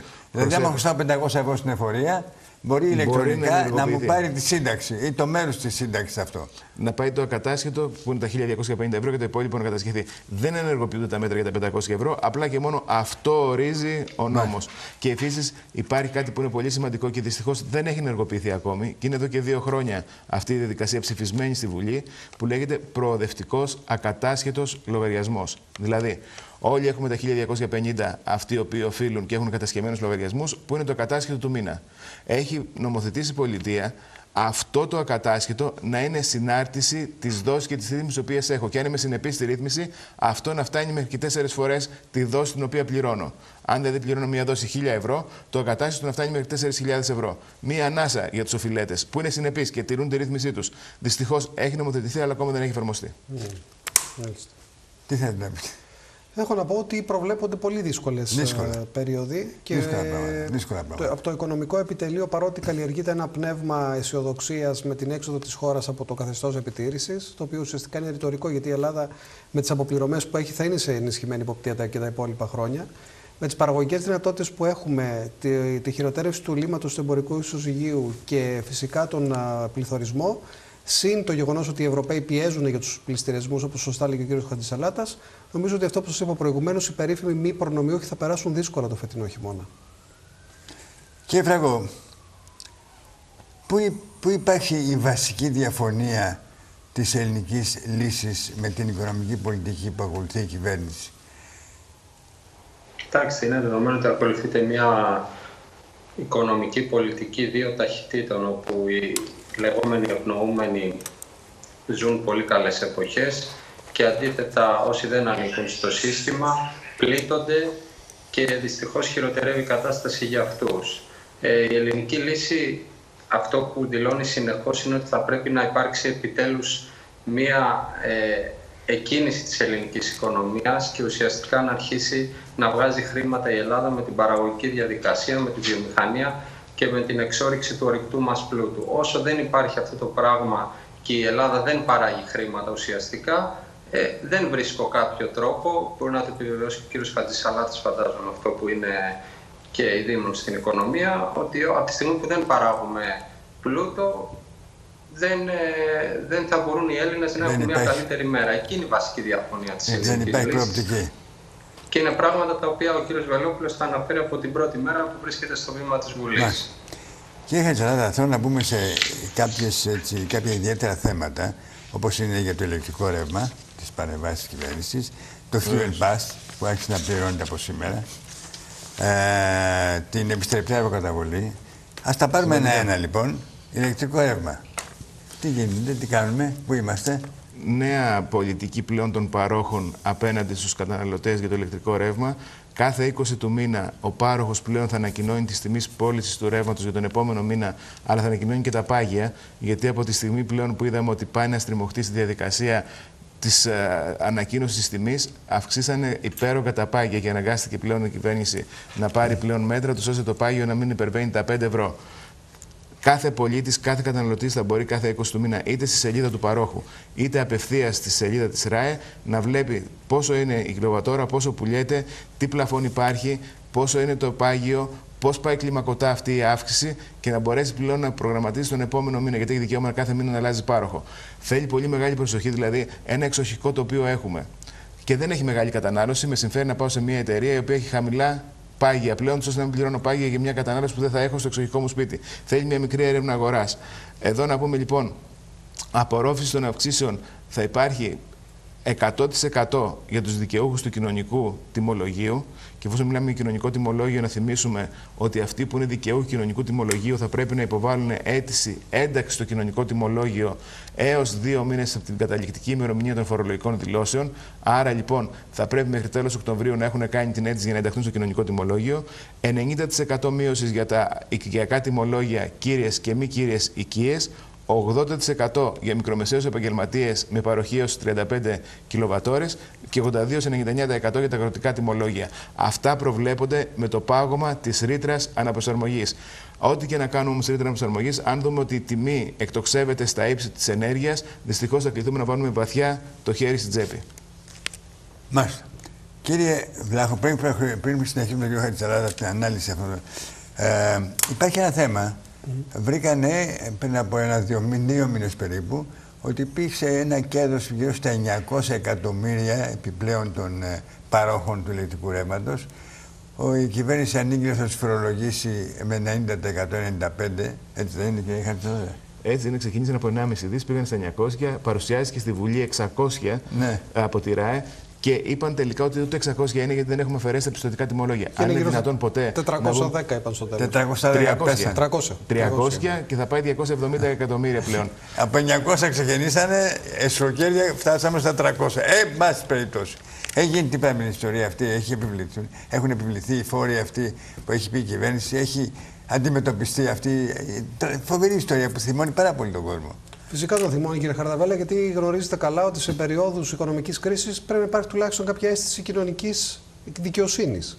Δεν μπορεί να πληρώνουν ουσιαστικά οι καταναλωτές όλο το βάρος αυτής της οικονομικής κρίσης και ταυτόχρονα και άλλα και την αδιαφορία της κυβέρνησης να ρυθμίσει τα χρέη. Για παράδειγμα, ε, σε άλλες χώρες όπως στην Ιταλία ή στις χώρες της Ιβηρική υπήρξε πραγματικά πρόνοια του κράτους απέναντι στους παρόχους ενέργειας και φορολογήθηκαν για τα υπερκέρδη τους. Είναι αυτά τα γνωστά ουρανοκατέβατα κέρδη για τα οποία έχει μιλήσει και η Κομισιόν και υπάρχει και σύσταση προς τις κυβερνήσεις να φορολογήσουν αυτούς που θησάβρισαν. Επίσης, εδώ πρέπει να ξέρουμε τι λέει και ο καθένας. Η Νέα Δημοκρατία και ο ΣΥΡΙΖΑ για ένα πολύ μεγάλο διάστημα κρύφτηκαν πίσω από το πλαφόν στη χοντρική και κανείς δεν μιλούσε για πλαφόν στη λιανική, γιατί γνωρίζουν ότι με το πλαφόν στη λιανική πρέπει να σπάσεις αυγά. Είναι το μόνο σύστημα το οποίο μπορεί να, δω, να δώσεις στον καταναλωτή απτά ωφέλη και να τα δεις στη- στο πορτοφόλι του από την πρώτη μέρα. Και εξάλλου και κάτι το οποίο το προβλέπει και η εργαλειοθήκη της Κομισιόν και δεν θα ερχόταν και σε σύγκρουση με καμία, ε, με καμία ευρωπαϊκή νομοθεσία. Ε, τρίτον, υπάρχει τεράστια καθυστέρηση, αλλά και προσδοκίες οι οποίες δεν εκπληρώνονται. Είτε αυτό αφορούσε το Energy Pass τον προηγούμενο μήνα, όπου καλλιέργησαν υψηλές προσδοκίες και είδαμε ακόμα και αρνητικές πιστώσεις. Μιλάμε για το Fuel Pass, στο οποίο ε, εντάξει, θε- καλο, θεμητό είναι και καλοδεχούμενο είναι, αλλά μην φτάσουμε σε ένα επίπεδο ψηφιακής ελεημοσύνης και αντί να νομοθετεί η κυβέρνηση και να κόβει φόρους, μας μοιράζει 60 και 70 κάθε μήνα ή κάθε τρίμηνο. Και φυσικά υπάρχει και το ζήτημα με το αλλάζω συσκευή, το στο οποίο θα αναφερθεί και ο κ. Χατζησαλάτας, είμαι σίγουρος, το οποίο επίσης δημιουργήθηκαν μεγάλες προσδοκίες, δεν μπήκανε κριτήρια, με αποτέλεσμα Μάλιστα. η συντριπτική πλειοψηφία αυτή τη στιγμή να μην έχει δει καμία διαφορά Για και να καμία μας επιδότηση. εξηγήσει ο Χατζηδράτης ακριβώς αυτά τα δύο θέματα. Δηλαδή, fuel pass, το επίδομα για τη βενζίνη και αυτό επίδομα για να αλλάξουμε ηλεκτρικές συσκευές. Δηλαδή, μόνο air condition όμως. Και τι άλλο. Air condition, ψυγεία και καταψύκτες. Λευκές. Τρεις συσκευές το ανώτερο και έχουμε δικαίωμα επιλογής δύο κλιματιστικών και ένα καταψύχτη, ένα ψυγείο ή μία από την κάθε Ωραία. κατηγορία. Τι γίνεται λοιπόν η ιστορία αυτή; Και το fuel pass και το άλλο. Για το Fuel Pass υπήρχαν ε, προβλήματα γιατί ε, προέβλεπε ε, ο νομοθέτης ότι μέσα σε τρεις ημέρες από τη στιγμή που εγκρίνεται η αίτηση θα πιστωθούν και τα χρήματα. Υπήρχε μια καθυστέρηση. Ο κύριος Σταϊκούρα χθες είπε ότι δεν υπήρχαν πιστώσει προς τα χρηματοπιστικά ιδρύματα. Έγινε αυτό, οπότε αποτέλεσμα σήμερα αρχίζουν πλέον να πληρώνονται. Έχουμε ορισμένες λεπτομέρειες που πρέπει να τις ξέρει ο καταναλωτής γιατί δικαίωμα αίτηση έχει μέχρι και τέλος του μήνα. Αυτό το επίδομα το οποίο ξεκινά από 80 ευρώ για την υπηρετική χώρα και φτάνει στα 100 τα νησιά για τα αυτοκίνητα και αντίστοιχα 60 για τις μηχανές και 70 για τα νησιά, αυτά τα χρήματα δεν είναι για κάθε μήνα, γιατί είναι για τρεις μήνες το Fuel Pass. Δεν είναι χρήματα για τον Ιούλιο, για τον Αύγουστο και τον Σεπτέμβριο κάθε μήνα, είναι ένα επίδομα και για τους τρεις μήνες. Άρα λοιπόν μην υπολογίζει αυτό επί τρία. Δεύτερον, είναι πολλοί οι καταναλωτές οι οποίοι προσπαθούν να κάνουν αίτηση και τους αφήνει το σύστημα. Υπάρχουν λάθη τα οποία κάνουμε κατά την υποβολή της αίτησης και πρέπει να είμαστε πολύ προσεκτικοί. Πρώτα απ' όλα, βασική προπόθεση για να μας αφήσει το σύστημα να κάνουμε την αίτηση είναι να έχουμε υποβάλει φορολογική δήλωση. Αν δεν έχουμε υποβάλει φορολογική δήλωση, δεν μπορούμε να κάνουμε την αίτηση. Και ο λόγος είναι απλός. Γιατί το Fuel Pass έχει εισοδηματικά κριτήρια 30.000 ευρώ οικογενειακό εισόδημα και όχι ατομικό, συν 3.000 ευρώ για κάθε μέλος της οικογένειας, που αυτό το διαπιστώνει το σύστημα πώς κάνοντας αναφορά στη δήλωση εισοδήματος στα χρήματα τα οποία είχαμε κερδίσει πέρυσι. Αν δεν υποβάλουμε δήλωση, δεν μπορεί να δει το εισόδημα, άρα δεν μπορεί να αφήσει να περάσει η αίτηση. Πρώτα λοιπόν είναι δήλωση εισοδήματος, μετά αίτηση. Δεύτερον, είναι αυτό που είπαμε προηγουμένως. Το εισοδηματικό κριτήριο. Μπερδεύτηκε ο κόσμος γιατί στο Fuel Pass 1 ήταν 30.000 ευρώ το οικογενειακό κριτήριο. Εδώ, επειδή είναι 30.000 ευρώ συν 3.000 ευρώ για κάθε τέκνο ή και για τον σύζυγο την σύζυγο αντίστοιχα, με πλαφόν τα 45 χιλιάρικα, θεώρησαν πολλοί ότι αυτές οι 30.000 είναι ατομικό. Όχι, είναι οικογενειακό εισόδημα, προστατευόμενο από τα 3 χιλιάρικα που λέγαμε προηγουμένως. Ένα άλλο λάθος το οποίο γίνεται είναι ότι όταν έχουμε συνειδιοκτησία σε ένα όχημα, είμαστε συνειδιοκτήτες δηλαδή δύο ή περισσότερα άτομα, δεν έχουμε δικαίωμα όλοι να κάνουμε χρήση και να πάρουμε fuel pass. Ο ένας από τους συνειδιοκτήτες θα μπορεί να κάνει αίτηση για να πάρει αυτό το επίδομα. Όπως επίσης, αν έχουμε στην κατοχή μας πέρα του ενός οχήματος, έχουμε ένα όχημα και μια μηχανή ή δύο οχήματα ή οτιδήποτε άλλο, δεν έχουμε δικαίωμα για κάθε όχημα να κάνουμε αίτηση. Μία αίτηση θα κάνουμε και θα επιλέξουμε ένα όχημα βάσει του οποίου θα μπορέσουμε να πάρουμε τα χρήματα. Και το όχημα το οποίο θα κάνουμε την αίτηση, οποιοδήποτε, θα είναι όχημα το οποίο είναι σε κυκλοφορία, δεν έχει καταθέσει πινακίδες, έχει περάσει κταίο και είναι ασφαλισμένο. Μόνο κάτω από αυτές τις προποθέσει κάνουμε την αίτηση για να πάρουμε τα χρήματα που είπαμε προηγουμένως. Υπάρχει διαφορά 15 ευρώ μεταξύ των χρημάτων που θα πάρουμε αν χρησιμοποιήσουμε την NFC τεχνολογία, δηλαδή το κινητό μας τηλέφωνο, μας έρθει μια άειλη κάρτα για να πάμε να αγοράσουμε καύσιμα, ή 15 ευρώ λιγότερα στα χρήματα που είπαμε προηγουμένως, εάν επιλέξουμε να γίνει κατάθεση σε τραπεζικό λογαριασμό σε IBAN. Το πλεονέκτημα της κατάθεσης του τραπεζικού λογαριασμού είναι ότι αυτά τα χρήματα μπορεί ο πολίτης να τα κάνει ό,τι θέλει. Δεν τους ζητήσει κανείς κάποια απόδειξη ότι έχει βάλει καύσιμο. Είναι χρήμα το οποίο μπαίνει στο τραπεζικό λογαριασμό και ναι. κατά το δοκούν ο πολίτης θα κάνει ό,τι ο πολίτης θέλει αυτός. Κύριε Φράγκο, ε, υπάρχει και στην Ευρώπη το τεράστιο πρόβλημα της ενέργειας, του ηλεκτρικού ρεύματος, των τιμών κλπ. κλπ. Εδώ πέρα μας εξηγεί ο κ. Χαϊντισαλάτας πώς η κυβέρνηση προσπαθεί να στηρίξει κυρίως τους ε, ε, ανθρώπους οι οποίοι είναι στην ε, κατηγορία των αρνητικών, θα έλεγα, οικονομικών στρωμάτων. στην Ευρώπη πώς αντιμετωπίζουν οι κυβερνήσεις αυτή, αυτή την υπόθεση με, την, με το ηλεκτρικό ρεύμα και τις τιμές; Ξέρετε; Κοιτάξτε, όπως και στην πανδημία, έτσι και στην τρέχουσα ενεργειακή κρίση, η Ευρωπαϊκή Ένωση έχει αποτύχει στο να εκδώσει μια ενιαία πολιτική, η οποία θα είναι ευεργετική για όλα τα κράτη-μέλη. Και αυτό οδηγεί στο κάθε κράτος μέλος να ακολουθεί μια πολιτική ε, ανάλογα με την κατάσταση της χώρας του. Για παράδειγμα, η Ουγγαρία του Ορμπάν, επειδή δεν υπάρχει κάποιο λιμάνι για να έχει υγροποιημένο αέριο, ζήτησε να μπορεί να κάνει εισαγωγή ρωσικού αερίου μέχρι των αγωγών. Αντίστοιχα, η Πορτογαλία και η Ισπανία είναι καλύτερες στις ανανεώσιμες πηγές ενέργειας και κινούνται αναλόγως. Αυτό έχει το αρνητικό ότι δεν έχει έναν ε, αναλυτικές και συγκεκριμένες οδηγίες σαν χώρα από την Κομισιόν για το πώς μπορείς να βγεις από αυτή την κρίση, αλλά έχει και το θετικό ότι δεν δεσμεύεσαι στο να ακολουθείς μια συγκεκριμένη γραμμή. Συνεπώς η ελληνική κυβέρνηση θα μπορούσε να, να μην έχει κλείσει ποτέ τις λιγνητικές μονάδες, θα μπορούσε να έχει κινηθεί βάσει των δεδομένων της χώρας μας ε, και θα μπορούσε να έχει ακολουθήσει μια διαφορετική γραμμή στο ζήτημα της ρωσικής εισβολής και στην αυστηρή στάση που κράτησε στο ζήτημα των κυρώσεων. Ε, αυτή είναι η κατάσταση λίγο πολύ. Η Ευρωπαϊκή Ένωση ήταν τελείως απροετοίμαστη και θεωρώ ότι μεγάλη ευθύνη φέρει η Γερμανία και η γερμανική κυβέρνηση όλα τα τελευταία χρόνια, η οποία αυτή ανέπτυξε την υψηλή εξάρτησή μας από το ρωσικό αέριο.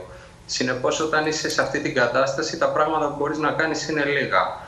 Και γι' αυτό βλέπουμε να γίνονται δηλώσεις, να βγαίνουν κάποια σχέδια τα οποία δεν μπορούν να εφαρμοστούν και όταν εφαρμόζονται αποτυχάνουν παταγωδός. Θα έπρεπε η Ευρωπαϊκή Ένωση να έχει εστιάσει στο κομμάτι της αυτάρκειας, της ενεργειακής αυτάρκειας, αλλά ακόμη και τώρα βλέπουμε να μην το κάνει αυτό η Ευρωπαϊκή Ένωση και να εστιάζει περισσότερο στο να βρίσκει άλλες πηγές ενέργειας. Ας πούμε στο πετρέλαιο, την βλέπουμε τώρα να συζητάει με την ε, Βενεζουέλα που πριν από ένα χρόνο μας έλεγε ότι είναι ένα αυταρχικό καθεστώς. Ε, αυτή είναι η κατάσταση. Και να αγοράζουμε ας πούμε αέρια από το Αζερβαϊτζάν που κατασφάζει καθημερινά την Αρμενία. Ε, όλη αυτή η απροετοιμασία έχει καταστροφικά, καταστροφικές συνέπειες για τα κράτη-μέλη που ακολουθούν αυτές τις ε, λανθασμένες οδηγίες. Κύριε Σαρασαράδα, να πάμε στο θέμα της επιστρεπτέας προκαταβολής. Που ταλαιπωρεί πάρα, πάρα πολύ κόσμο, ο οποίος πήρε κάποια χρήματα στην διάρκεια της πανδημίας για να αντέξει η επιχείρησή του, το μαγαζί του, το σπίτι του και τώρα τους ζητάνε τα λεφτά πίσω που δεν έχει να τα πληρώσει. Τι γίνεται στην περίπτωση αυτή; Για να είμαστε απόλυτα ειλικρινείς, ε, ήταν ένα πρόγραμμα επιστρεπτή προκαταβολή που βοήθησε τις επιχειρήσεις να στηριχθούν στα πόδια τους. Ε, υπήρχαν άλλα μέτρα τα οποία τους ανάγκαζαν να πληρώνουν χρήματα ενώ δεν ήταν ίδιες υπεύθυνες. Παραδείγματος χάρη, υπάρχει ακόμα στη φορολογία εισοδήματο το τέλος επιτιδεύματος, ένα χαράτσι δηλαδή απάνω σε οποιαδήποτε επιχείρηση που σου λέει είτε είσαι κλειστός είτε ανοιχτός, εγώ σου επιβάλλω αυτό το χαράτσι κάθε χρόνο. Αλλά όσον αφορά τον επιστρεπτές προκαταβολές, ήταν χρήματα τα οποία μπήκαν στα ταμεία των επιχειρήσεων και καλούνται πλέον επιχειρήσεις τώρα να φέρουν ορισμένα χρήματα πίσω προς το δημόσιο. Να πούμε ότι οι επιστρεπτές προκαταβολές ήταν 7 κύκλοι. Ήταν 7 διαφορετικές επιστρεπτές προκαταβολές ο κάθε κύκλος, κάθε επιστρεπτέας προκαταβολής μπορεί αυτός που είχε πάρει τα χρήματα να, να τα γυρίσει στο δημόσιο με όποιον τρόπο επιλέξει. Είτε πληρώνοντας άμεσα και εφάπαξα χρήματα με μία έκπτωση 15% ή διαφορετικά σε 96 άτοκες δόσεις. Για κάθε κύκλο επιλέγει το τι πρέπει να κάνει. Υπάρχει μία συγκεκριμένη διαδικασία η οποία πολλές επιχειρήσεις δεν την έχουν ακολουθήσει ακόμα και λέγεται ότι πρέπει να καταθέσει ένα συγκεκριμένο δικαιολογητικό που λέγεται δικαιολογητικό δικαστικής φερεγγιότητας. Εάν δεν καταθέσει αυτό το πιστοποιητικό, τότε τα χρήματα τα οποία έχει πάρει θα κληθεί να τα επιστρέψει στο σύνολο πίσω. Είναι ένα πιστοποιητικό το οποίο είναι απαραίτητο, όπως είναι απαραίτητο η διατήρηση του ατόμων που εργάζονταν στην επιχείρηση να διατηρηθούν για να μπορέσει να πάρει τα χρήματα της επιστρεπτέας προκαταβολής. Και δικαίωμα κατάθεσης αυτού του δικαιολογητικού είναι μέχρι τέλος Αυγούστου. Για αυτούς οι οποίοι δεν το έχουν καταθέσει θα δουν το δοσολόγιο μπροστά τους και θα πληρώσουν τη δόση Ιουλίου και Αυγούστου μαζεμένες μαζί, αν το πάμε στην περίπτωση των δόσεων, ή θα έχουν το δικαίωμα της έκπτωσης του 15% να το πληρώσουν εφάπαξ. Και βάσει στατιστικών στοιχείων μπορούν οι επιχειρήσεις να επιστρέψουν αυτά τα χρήματα με τους δύο τρόπους και είναι 28% των επιχειρήσεων θα επιστρέψουν το 25% των χρημάτων που έχουν πάρει. 39% των επιχειρήσεων θα επιστρέψουν το 33,3% των χρημάτων που έχουν πάρει και 33% των επιχειρήσεων θα επιστρέψουν το 50%. Το πώς υπολογίζεται το ποσοστό που θα επιστρέψει κάθε επιχείρηση είναι συνάρτηση με τη μείωση του τζίρου την οποία έχουν παρουσιάσει το 19 και το 20 και αν η επιχείρηση είναι παλιά ή αν η επιχείρηση είναι καινούρια σε αυτή τη διαδικασία. Δηλαδή, αν έχουμε μια επιχείρηση που έχει κάνει έναρξη πριν το Γενάρη του 2019, δηλαδή είναι μια παλιά επιχείρηση και έχει μείωση τζίρου πάνω από 70%, αυτή η επιχείρηση επιστρέφει το 25% των επιστρεπτών προκαταβολών. Εάν η μείωση του τζίρου μεταξύ 30 και 70 επιστρέφει το 33,3%. Εάν η επιχείρηση είναι νέα, έχει κάνει έναρξη δηλαδή μετά τον Ιανουάριο του 2019, είχε μηδενικά κέρδη το 2019, εδώ λοιπόν επιστρέφει το 25% αν έχει μείωση του τζίρου άνω του 30% ή επιστρέφει το 33,3% σε όλες τις άλλες περιπτώσεις αν είναι νέα επιχείρηση. Εάν κάποια επιχείρηση δεν εντάσσεται σε αυτά που είπαμε προηγουμένως, τότε επιστρέφει το 50%. Ωραία. Λοιπόν, ε, θα κάνω δύο τελευταίες ερωτήσεις στον κύριο Βλάχο και στον κύριο Φράγκο για να τους αποχαιρετήσουμε συνεχεία, διότι θα ανοίξουμε τα τηλέφωνα για σας. Αν θέλει και ο Χατζησαράντα, τον παρακαλώ να μείνει κοντά μας, διότι μπορεί να τον ρωτήσετε τέτοια θέματα που ακούτε τώρα για έμφυα επιστρεπτικά προκαταβολή και όλα αυτά. Άρα λοιπόν, ε, ξεκινάμε με τον κύριο Βλάχο για μια τελευταία ερώτηση. Ξέρετε κύριε Βλάχο, ε, θα έλεγα ότι φαίνεται ότι η κυβέρνηση έχει κάνει μια κρίσιμη επιλογή. Δηλαδή, λέει, στηρίζω την επιχείρηση, την επιχειρηματικότητα, γιατί αν τη στηρίξουν την επιχειρηματικότητα, δημιουργούνται θέσεις εργασίας, άρα βρίσκουν δουλειά οι εργαζόμενοι. Υπάρχει μια άλλη άποψη που λέει ότι δεν είναι δυνατόν να στηρίζεις την επιχειρηματικότητα και να μην στηρίζεις τον εργαζόμενο. Το Πασόκ, τι, τι, ποια πολιτική θέλει να ακολουθήσει, αυτή της Νέας Δημοκρατίας που ανέλησε ή κάτι διαφορετικό που να ευνοεί τους εργαζόμενους; Καταρχήν η κυβέρνηση μεροληπτεί υπέρ κάποιων επιχειρήσεων. Θυμίζω ότι κατά τη διάρκεια της πανδημίας το σύστημα των κρατικών εγγύσεων δόθηκε μεροληπτικά υπέρ λίγων και προνομιούχων. Δεν δόθηκε στις μικρομεσαίες επιχειρήσεις που το είχαν ανάγκη. Επίσης, εμείς έχουμε ασκήσει και κάποια κριτική στο, στην πολιτική για την επιστρεπτέα προκαταβολή. Θεωρούμε ότι υπάρχουν και κάποιοι, έως πολλοί, οι οποίοι δεν θα έπρεπε να έχουν χρηματοδοτηθεί αδρά, γιατί έχουν, υπάρχουν στοιχεία ότι πάρα πολλά χρήματα πήγαν σε καταθέσεις και αγορά πολυτελών ειδών. Που σημαίνει ότι ο κύριος Μητσοτάκης έκανε μια δημοσιονομική επέκταση χωρίς κριτήρια και τώρα τρέχει να τα μαζέψει, γι' αυτό και δεν μειώνει και τους έμεσου φόρους. Δηλαδή, οι Έλληνες πολίτες πληρώνουν και την αμεριμνησία του, αλλά και τις ιδεολογικές του αιμονές. Εμείς λοιπόν τι λέμε; Εμείς λέμε ότι πρέπει προφανώς η ανάπτυξη να στηρίζεται σε γερά θεμέλια, σε κοινωνικά θεμέλια, για να παράγει αξία και για τους εργαζόμενους. Δεν μπορεί αυτή τη στιγμή να μιλάς για την ανάπτυξη και να δημιουργείς συνθήκες εργασιακής γαλέρας. Να έχεις δηλαδή αυτή τη στιγμή περίπου ένα εκατομμύριο πολίτες, οι οποίοι αμείβονται μέχρι 400-500 ευρώ το μήνα. Και αντιλαμβάνεστε ότι και ο τουρισμός είναι μια δραστηριότητα η οποία δεν παράγει επαγγέλματα με μεγάλη προστιθέμενη αξία και υψηλά εισοδήματα, παράγει μαζικά ε, επαγγέλματα τα οποία δεν κινούνται στη σφαίρα των υψηλών αμοιβών. Άρα, αυτό που θα μπορούσε να γίνει και που θα προτείνουμε εμείς είναι να βρεθεί μια τομή, ώστε η μικρομεσαία επιχείρηση να έχει κίνητρα και να απασχολεί εργαζομένους, αλλά και να τους δίνει και μισθούς οι οποίοι κινούνται στα όρια της αξιοπρέπειας. Αυτό μπορεί να γίνει και με φορολογικά κίνητρα και με ασφαλιστικά κίνητρα, αλλά και με αυτό που έχουμε πει και θα το περιγράψουμε αναλυτικά και στη Διεθνή Έκθεση Θεσσαλονίκη, τη ρήτρα απασχόλησης.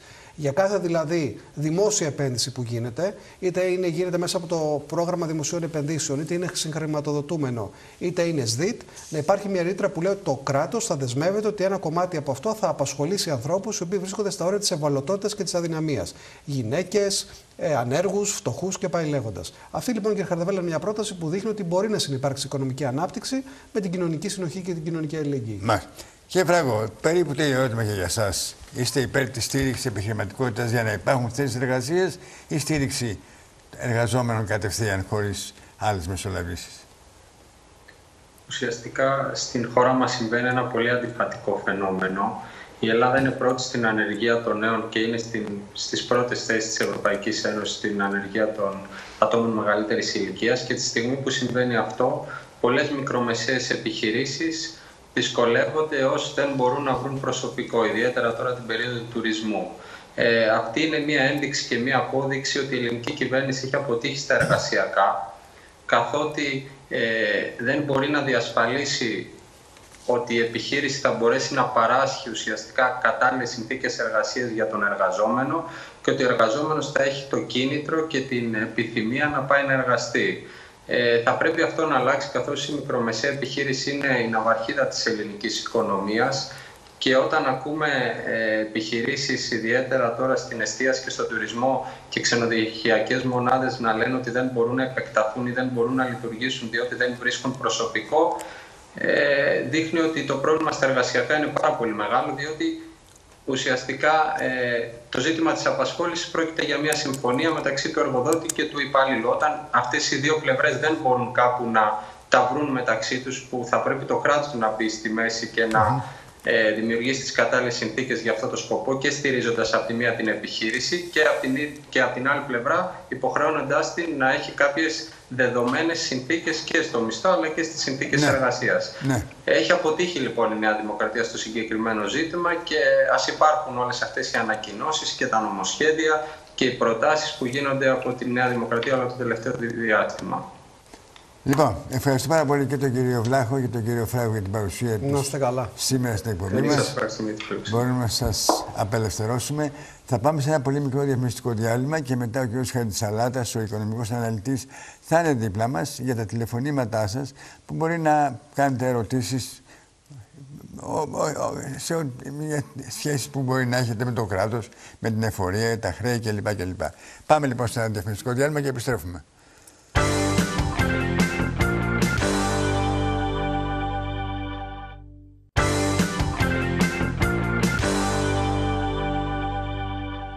Και βεβαίως μπήκαμε στο τελευταίο 20 λεπτό σημερινή μας εκπομπή, ούτε 20 λεπτά, 15 λεπτά είναι. 2.11.18.60.001 τα τηλέφωνα είναι ανοιχτά πλέον για εσά να κουβεντιάσουμε μαζί, να σας ακούσουμε, να ρωτήσετε ό,τι θέλετε. Το κύριο Χατζησαλάτα είναι οικονομικός αναλυτής, ξέρει πάρα πολύ καλά αυτά τα θέματα της, ε, των σχέσεων του πολίτη με την εφορία κλπ. κλπ. Αλλά πριν σας ακούσουμε, θέλω να του κάνω εγώ ένα ερώτημα, διότι σήμερα γράφω από το πρωί και ασχολούμαστε από το πρωί και στα δελτία ειδήσεων με την έξοδο, λέει, της Ελλάδας από την αυστηρή επιτήρηση ε, ε, και τα μνημόνια Τα κλπ. μνημόνια. Τι σημαίνει αυτό, τι σημαίνει, δηλαδή, θα βγάλω εγώ τίποτα, θα, θα, θα, θα κερδίσω κάτι από την άρση αυτής της επιτήρησης; Μπορεί πολλά, μπορεί και τίποτα, κύριε Μάλιστα. Χαρδαβέλα. Αυτό να σημαίνει. Ε, το θέμα είναι κατά πόσο θα μπορεί η ελληνική πολιτεία, όποια και να είναι αυτή, να θεσμοθετεί μόνη της και να κάνει κουμάντου στα δικά της τα χρήματα χωρίς να έχουμε σημείο αναφοράς στο εξωτερικό, χωρίς να μπαίνουν κόφτε στο εξωτερικό. Αν ισχύσει κάτι τέτοιο, θα σημαίνουν πάρα πολλά. Αν δεν ισχύσει κάτι τέτοιο, δεν πιστεύω ότι θα Δεν υπάρχει σημαίνει μεγάλη πολλά. αλλαγή. Λοιπόν, πάμε στον Άγιο Δημήτρη να ξεκινήσουμε με τον κύριο Χρήστο. Καλησπέρα κύριε Χρήστο. Καλησπέρα σας κύριε Χαρδαβέλα. Γεια σας. Α, 200 χρόνια έχω που σε, που σε θυμάμαι που, ε, που ήσουν με τον Γιώργο μαζί, ε, με το, με το Λιάννη, με το... Δεν με το ακούω, άλλο ακούω, το κύριε παλικάρι. Χρήστο, κύριε Χρήστο, επειδή δεν σε ακούμε καθόλου, σχεδόν καθόλου. Χαμηλώστε, να τη- κλείσει τη χαμηλώστε τηλεόραση; την, ε- την ένταση της τηλεόρασής σας για να ακούσετε, να ακούσετε καθαρά, αλλιώς δεν Ναι, ακούγεστε. εντάξει, τώρα με ακούτε; Πάμε, ναι, ναι. Ναι. Λέω, σας θυμάμαι από το, όταν ήσασταν με τον κύριο Λιάννη και το παλικάρι το άλλο, πώς το λέγατε. Από την εποχή των ρεπόρτερ δηλαδή, ναι. Από τότε, ναι, ναι, ναι, σας θυμάμαι. Για πέστε μου, τι θέλετε. Λοιπόν, εγώ έχω ένα πρόβλημα. Εγώ ήμουνα λιμενεργάτης. Λοιπόν, δούλεψα από το 57 μέχρι το 92. Βγήκε ο νόμος για όποιος έχει 1500 και στα, στα ε, 58 να φύγει. Ναι. Όποιος έχει 1500. Αφού είδα εγώ έτσι, εγώ είχα 11.560. Ένσημα, ε. Ναι. Λοιπόν, κάνω και εγώ την αίτησή μου, εντάξει. Και βγήκα. Το 92, αρχές του 92 βγήκα σε σύνταξη. Με το νόμο, το νόμο 10.500. Καταλάβατε; Ναι, κατάλαβα. Λοιπόν, Εσύ- Ναι. Έπαιρνα, πήρα το 80% την ανώτερη σύνταξη, γιατί είχα τόσα πολλά ενσύμβα. Πήρα την ανώτερη σύνταξη, το 80% να καταλάβετε. Λοιπόν, είχα φτάσει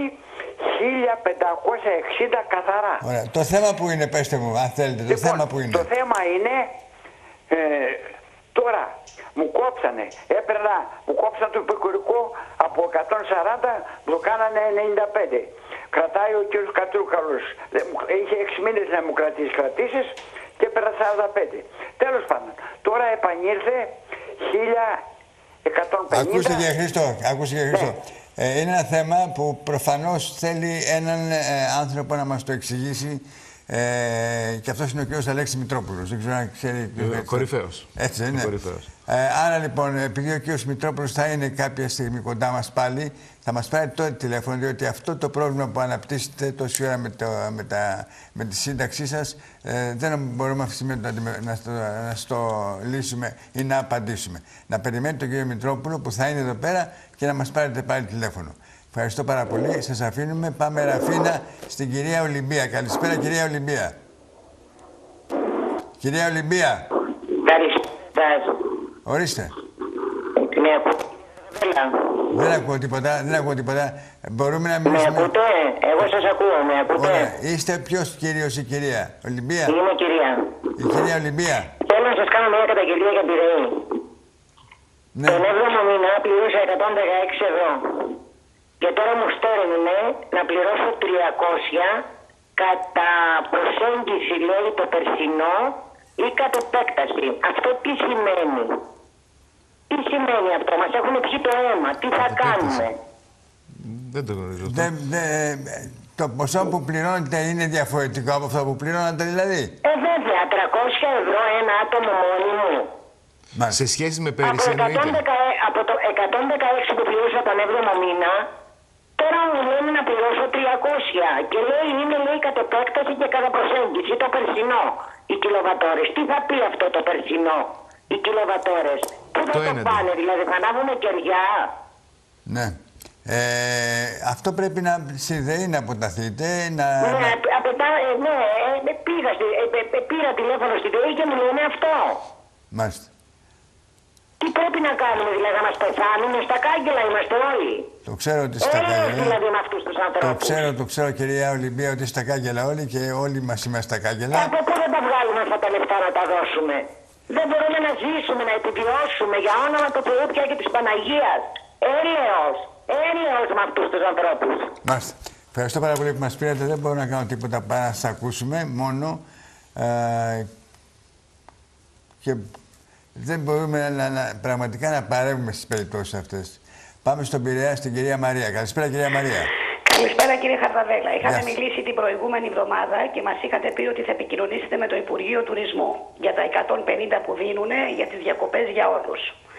Εμείς πήραμε το Υπουργείο, δεν το σήκωνε κανείς. Βρήκαμε χθες ένα security το μεσημέρι. Μας είπαν ότι δεν έχουν καμιά δουλειά και ότι συνεργάζονται με μια εταιρεία. Παίρνουμε την εταιρεία, ρωτάμε. Λένε είναι πολύ μπερδεμένα τα πράγματα γιατί δεν είναι σαν το voucher. Πρέπει να βάλει κωδικούς, πρέπει να βάλει το smartphone κτλ. Τώρα μιλάμε για 70 χρονών ανθρώπους. Ο κύριος Κικίλιας παραθερίζει στην Μύκονο. Καλό είναι λοιπόν να δείχνει και στους πολίτες Εμένα, ότι εμένα, ενδιαφέρεται.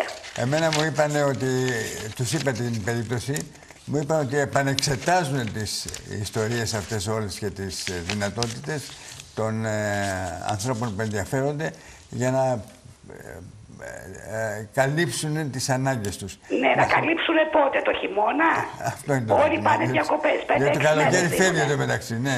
Είναι και το Λοιπόν, πρόγραμμα. κάτι άλλο τώρα. Α, Μισό Για τον λεπτό, κύριο κυρία Μαρία. Χατζησαλάτα. Κυρία Μαρία, κυρία Μαρία, ένα λεπτό. Ήθελα να πει και ο Χατζησαλάτος, ορίστε. Είναι και το πρόγραμμα το, το τουρισμός για όλους ή το κοινωνικό τουρισμό του ΑΕ της Διπαυλίων; Και Ο τουρισμός για όλους, τα 150 ευρώ. Αυτοί λοιπόν δεν είχατε κληρωθεί δηλαδή στην αρχή; Δεν είχατε... Πληρωθήκαν όλα καλά, αλλά Ναι. δεν είναι σαν τα voucher. Πρέπει να πάρουμε smartphone για να βάλουμε μέσα κωδικούς και αυτά. Ναι, γιατί πάνε απευθείας στο τηλέφωνο και μέσω αυτής της εφαρμογής Ναι, πλέον πας στον αλλά εμείς ξενοδόχο. έχουμε κινητά όμως που έχουν 50 ευρώ, τα οποία Μάλιστα. δεν είναι Κατάλαβα. προσβάσιμα. Πέστε μου το δεύτερο θέμα σας Λοιπόν, ποιο είναι. Το άλλο ερώτημα είναι για τον κύριο Χατζησαλάτα. Ναι. Δεν πρέπει να κάνουν εκτός από τις 12-24 δόσεις μέχρι 50-60 να μπορέσει ο κόσμος να βάλει τις δόσεις του. Αυτά που χρωστάει με μικρή δόση να πληρώνει. Γιατί τα κάνουν αυτά; Ποιος Ναι, είναι ο αρμόδιος που είναι υπεύθυνος; Ναι. Σίγουρα, θα, Γιατί όχι- να παίρνουν τα σπίτια και τα Ακούστε λοιπά. κυρία Μαρία, το ακούσαμε αυτό που είπατε, ορίστε. σίγουρα το να υπάρχουν πολλές δόσεις είναι ότι καλύτερο γιατί το χρέος αυτό πλέον κατατμίζει σε πάρα πολύ μικρότερο ποσό. Αλλά το θέμα είναι εδώ, κυρία Μαρία, ότι από τη στιγμή που ακόμα είδαμε και οι άτοκες δόσεις στι επιστρεπτέ των κορονοχρεών, αλλά και η ρύθμιση των 100-120 δόσεων, βλέπουμε ότι ο κόσμος δεν έχει χρήματα να ανταπεξέλθει ούτε καν σε αυτές. Πολύ δε περισσότερο στην πάγια ρύθμιση ΑΔΕ που είναι 12-24 ή 24-48 είναι κληρονομιά ή φορολογικός έλεγχος. μην ξεχνάμε, όταν μιλάμε για περισσότερες δόσεις, δηλαδή μιλάμε για 36 δόσεις ή για 60 δόσεις κτλ., μιλάμε για 3, 4 και 5 χρόνια δόσεων. Που σημαίνει ότι κάθε μήνα από το εισόδημά μας, που είναι πενιχρό και δεν φτάνει για την καθημερινότητα, θα πρέπει να περισσεύουν χρήματα για να κάνουμε αυτή τη ρύθμιση. Ε, δεν είναι εύκολα τα πράγματα, όσο και να είναι πολλές οι δόσεις. Χρήματα δεν υπάρχουν. Ωραία, ας δώσουν μια ευκαιρία και όσοι μπορούν να μπουν. Μάλιστα.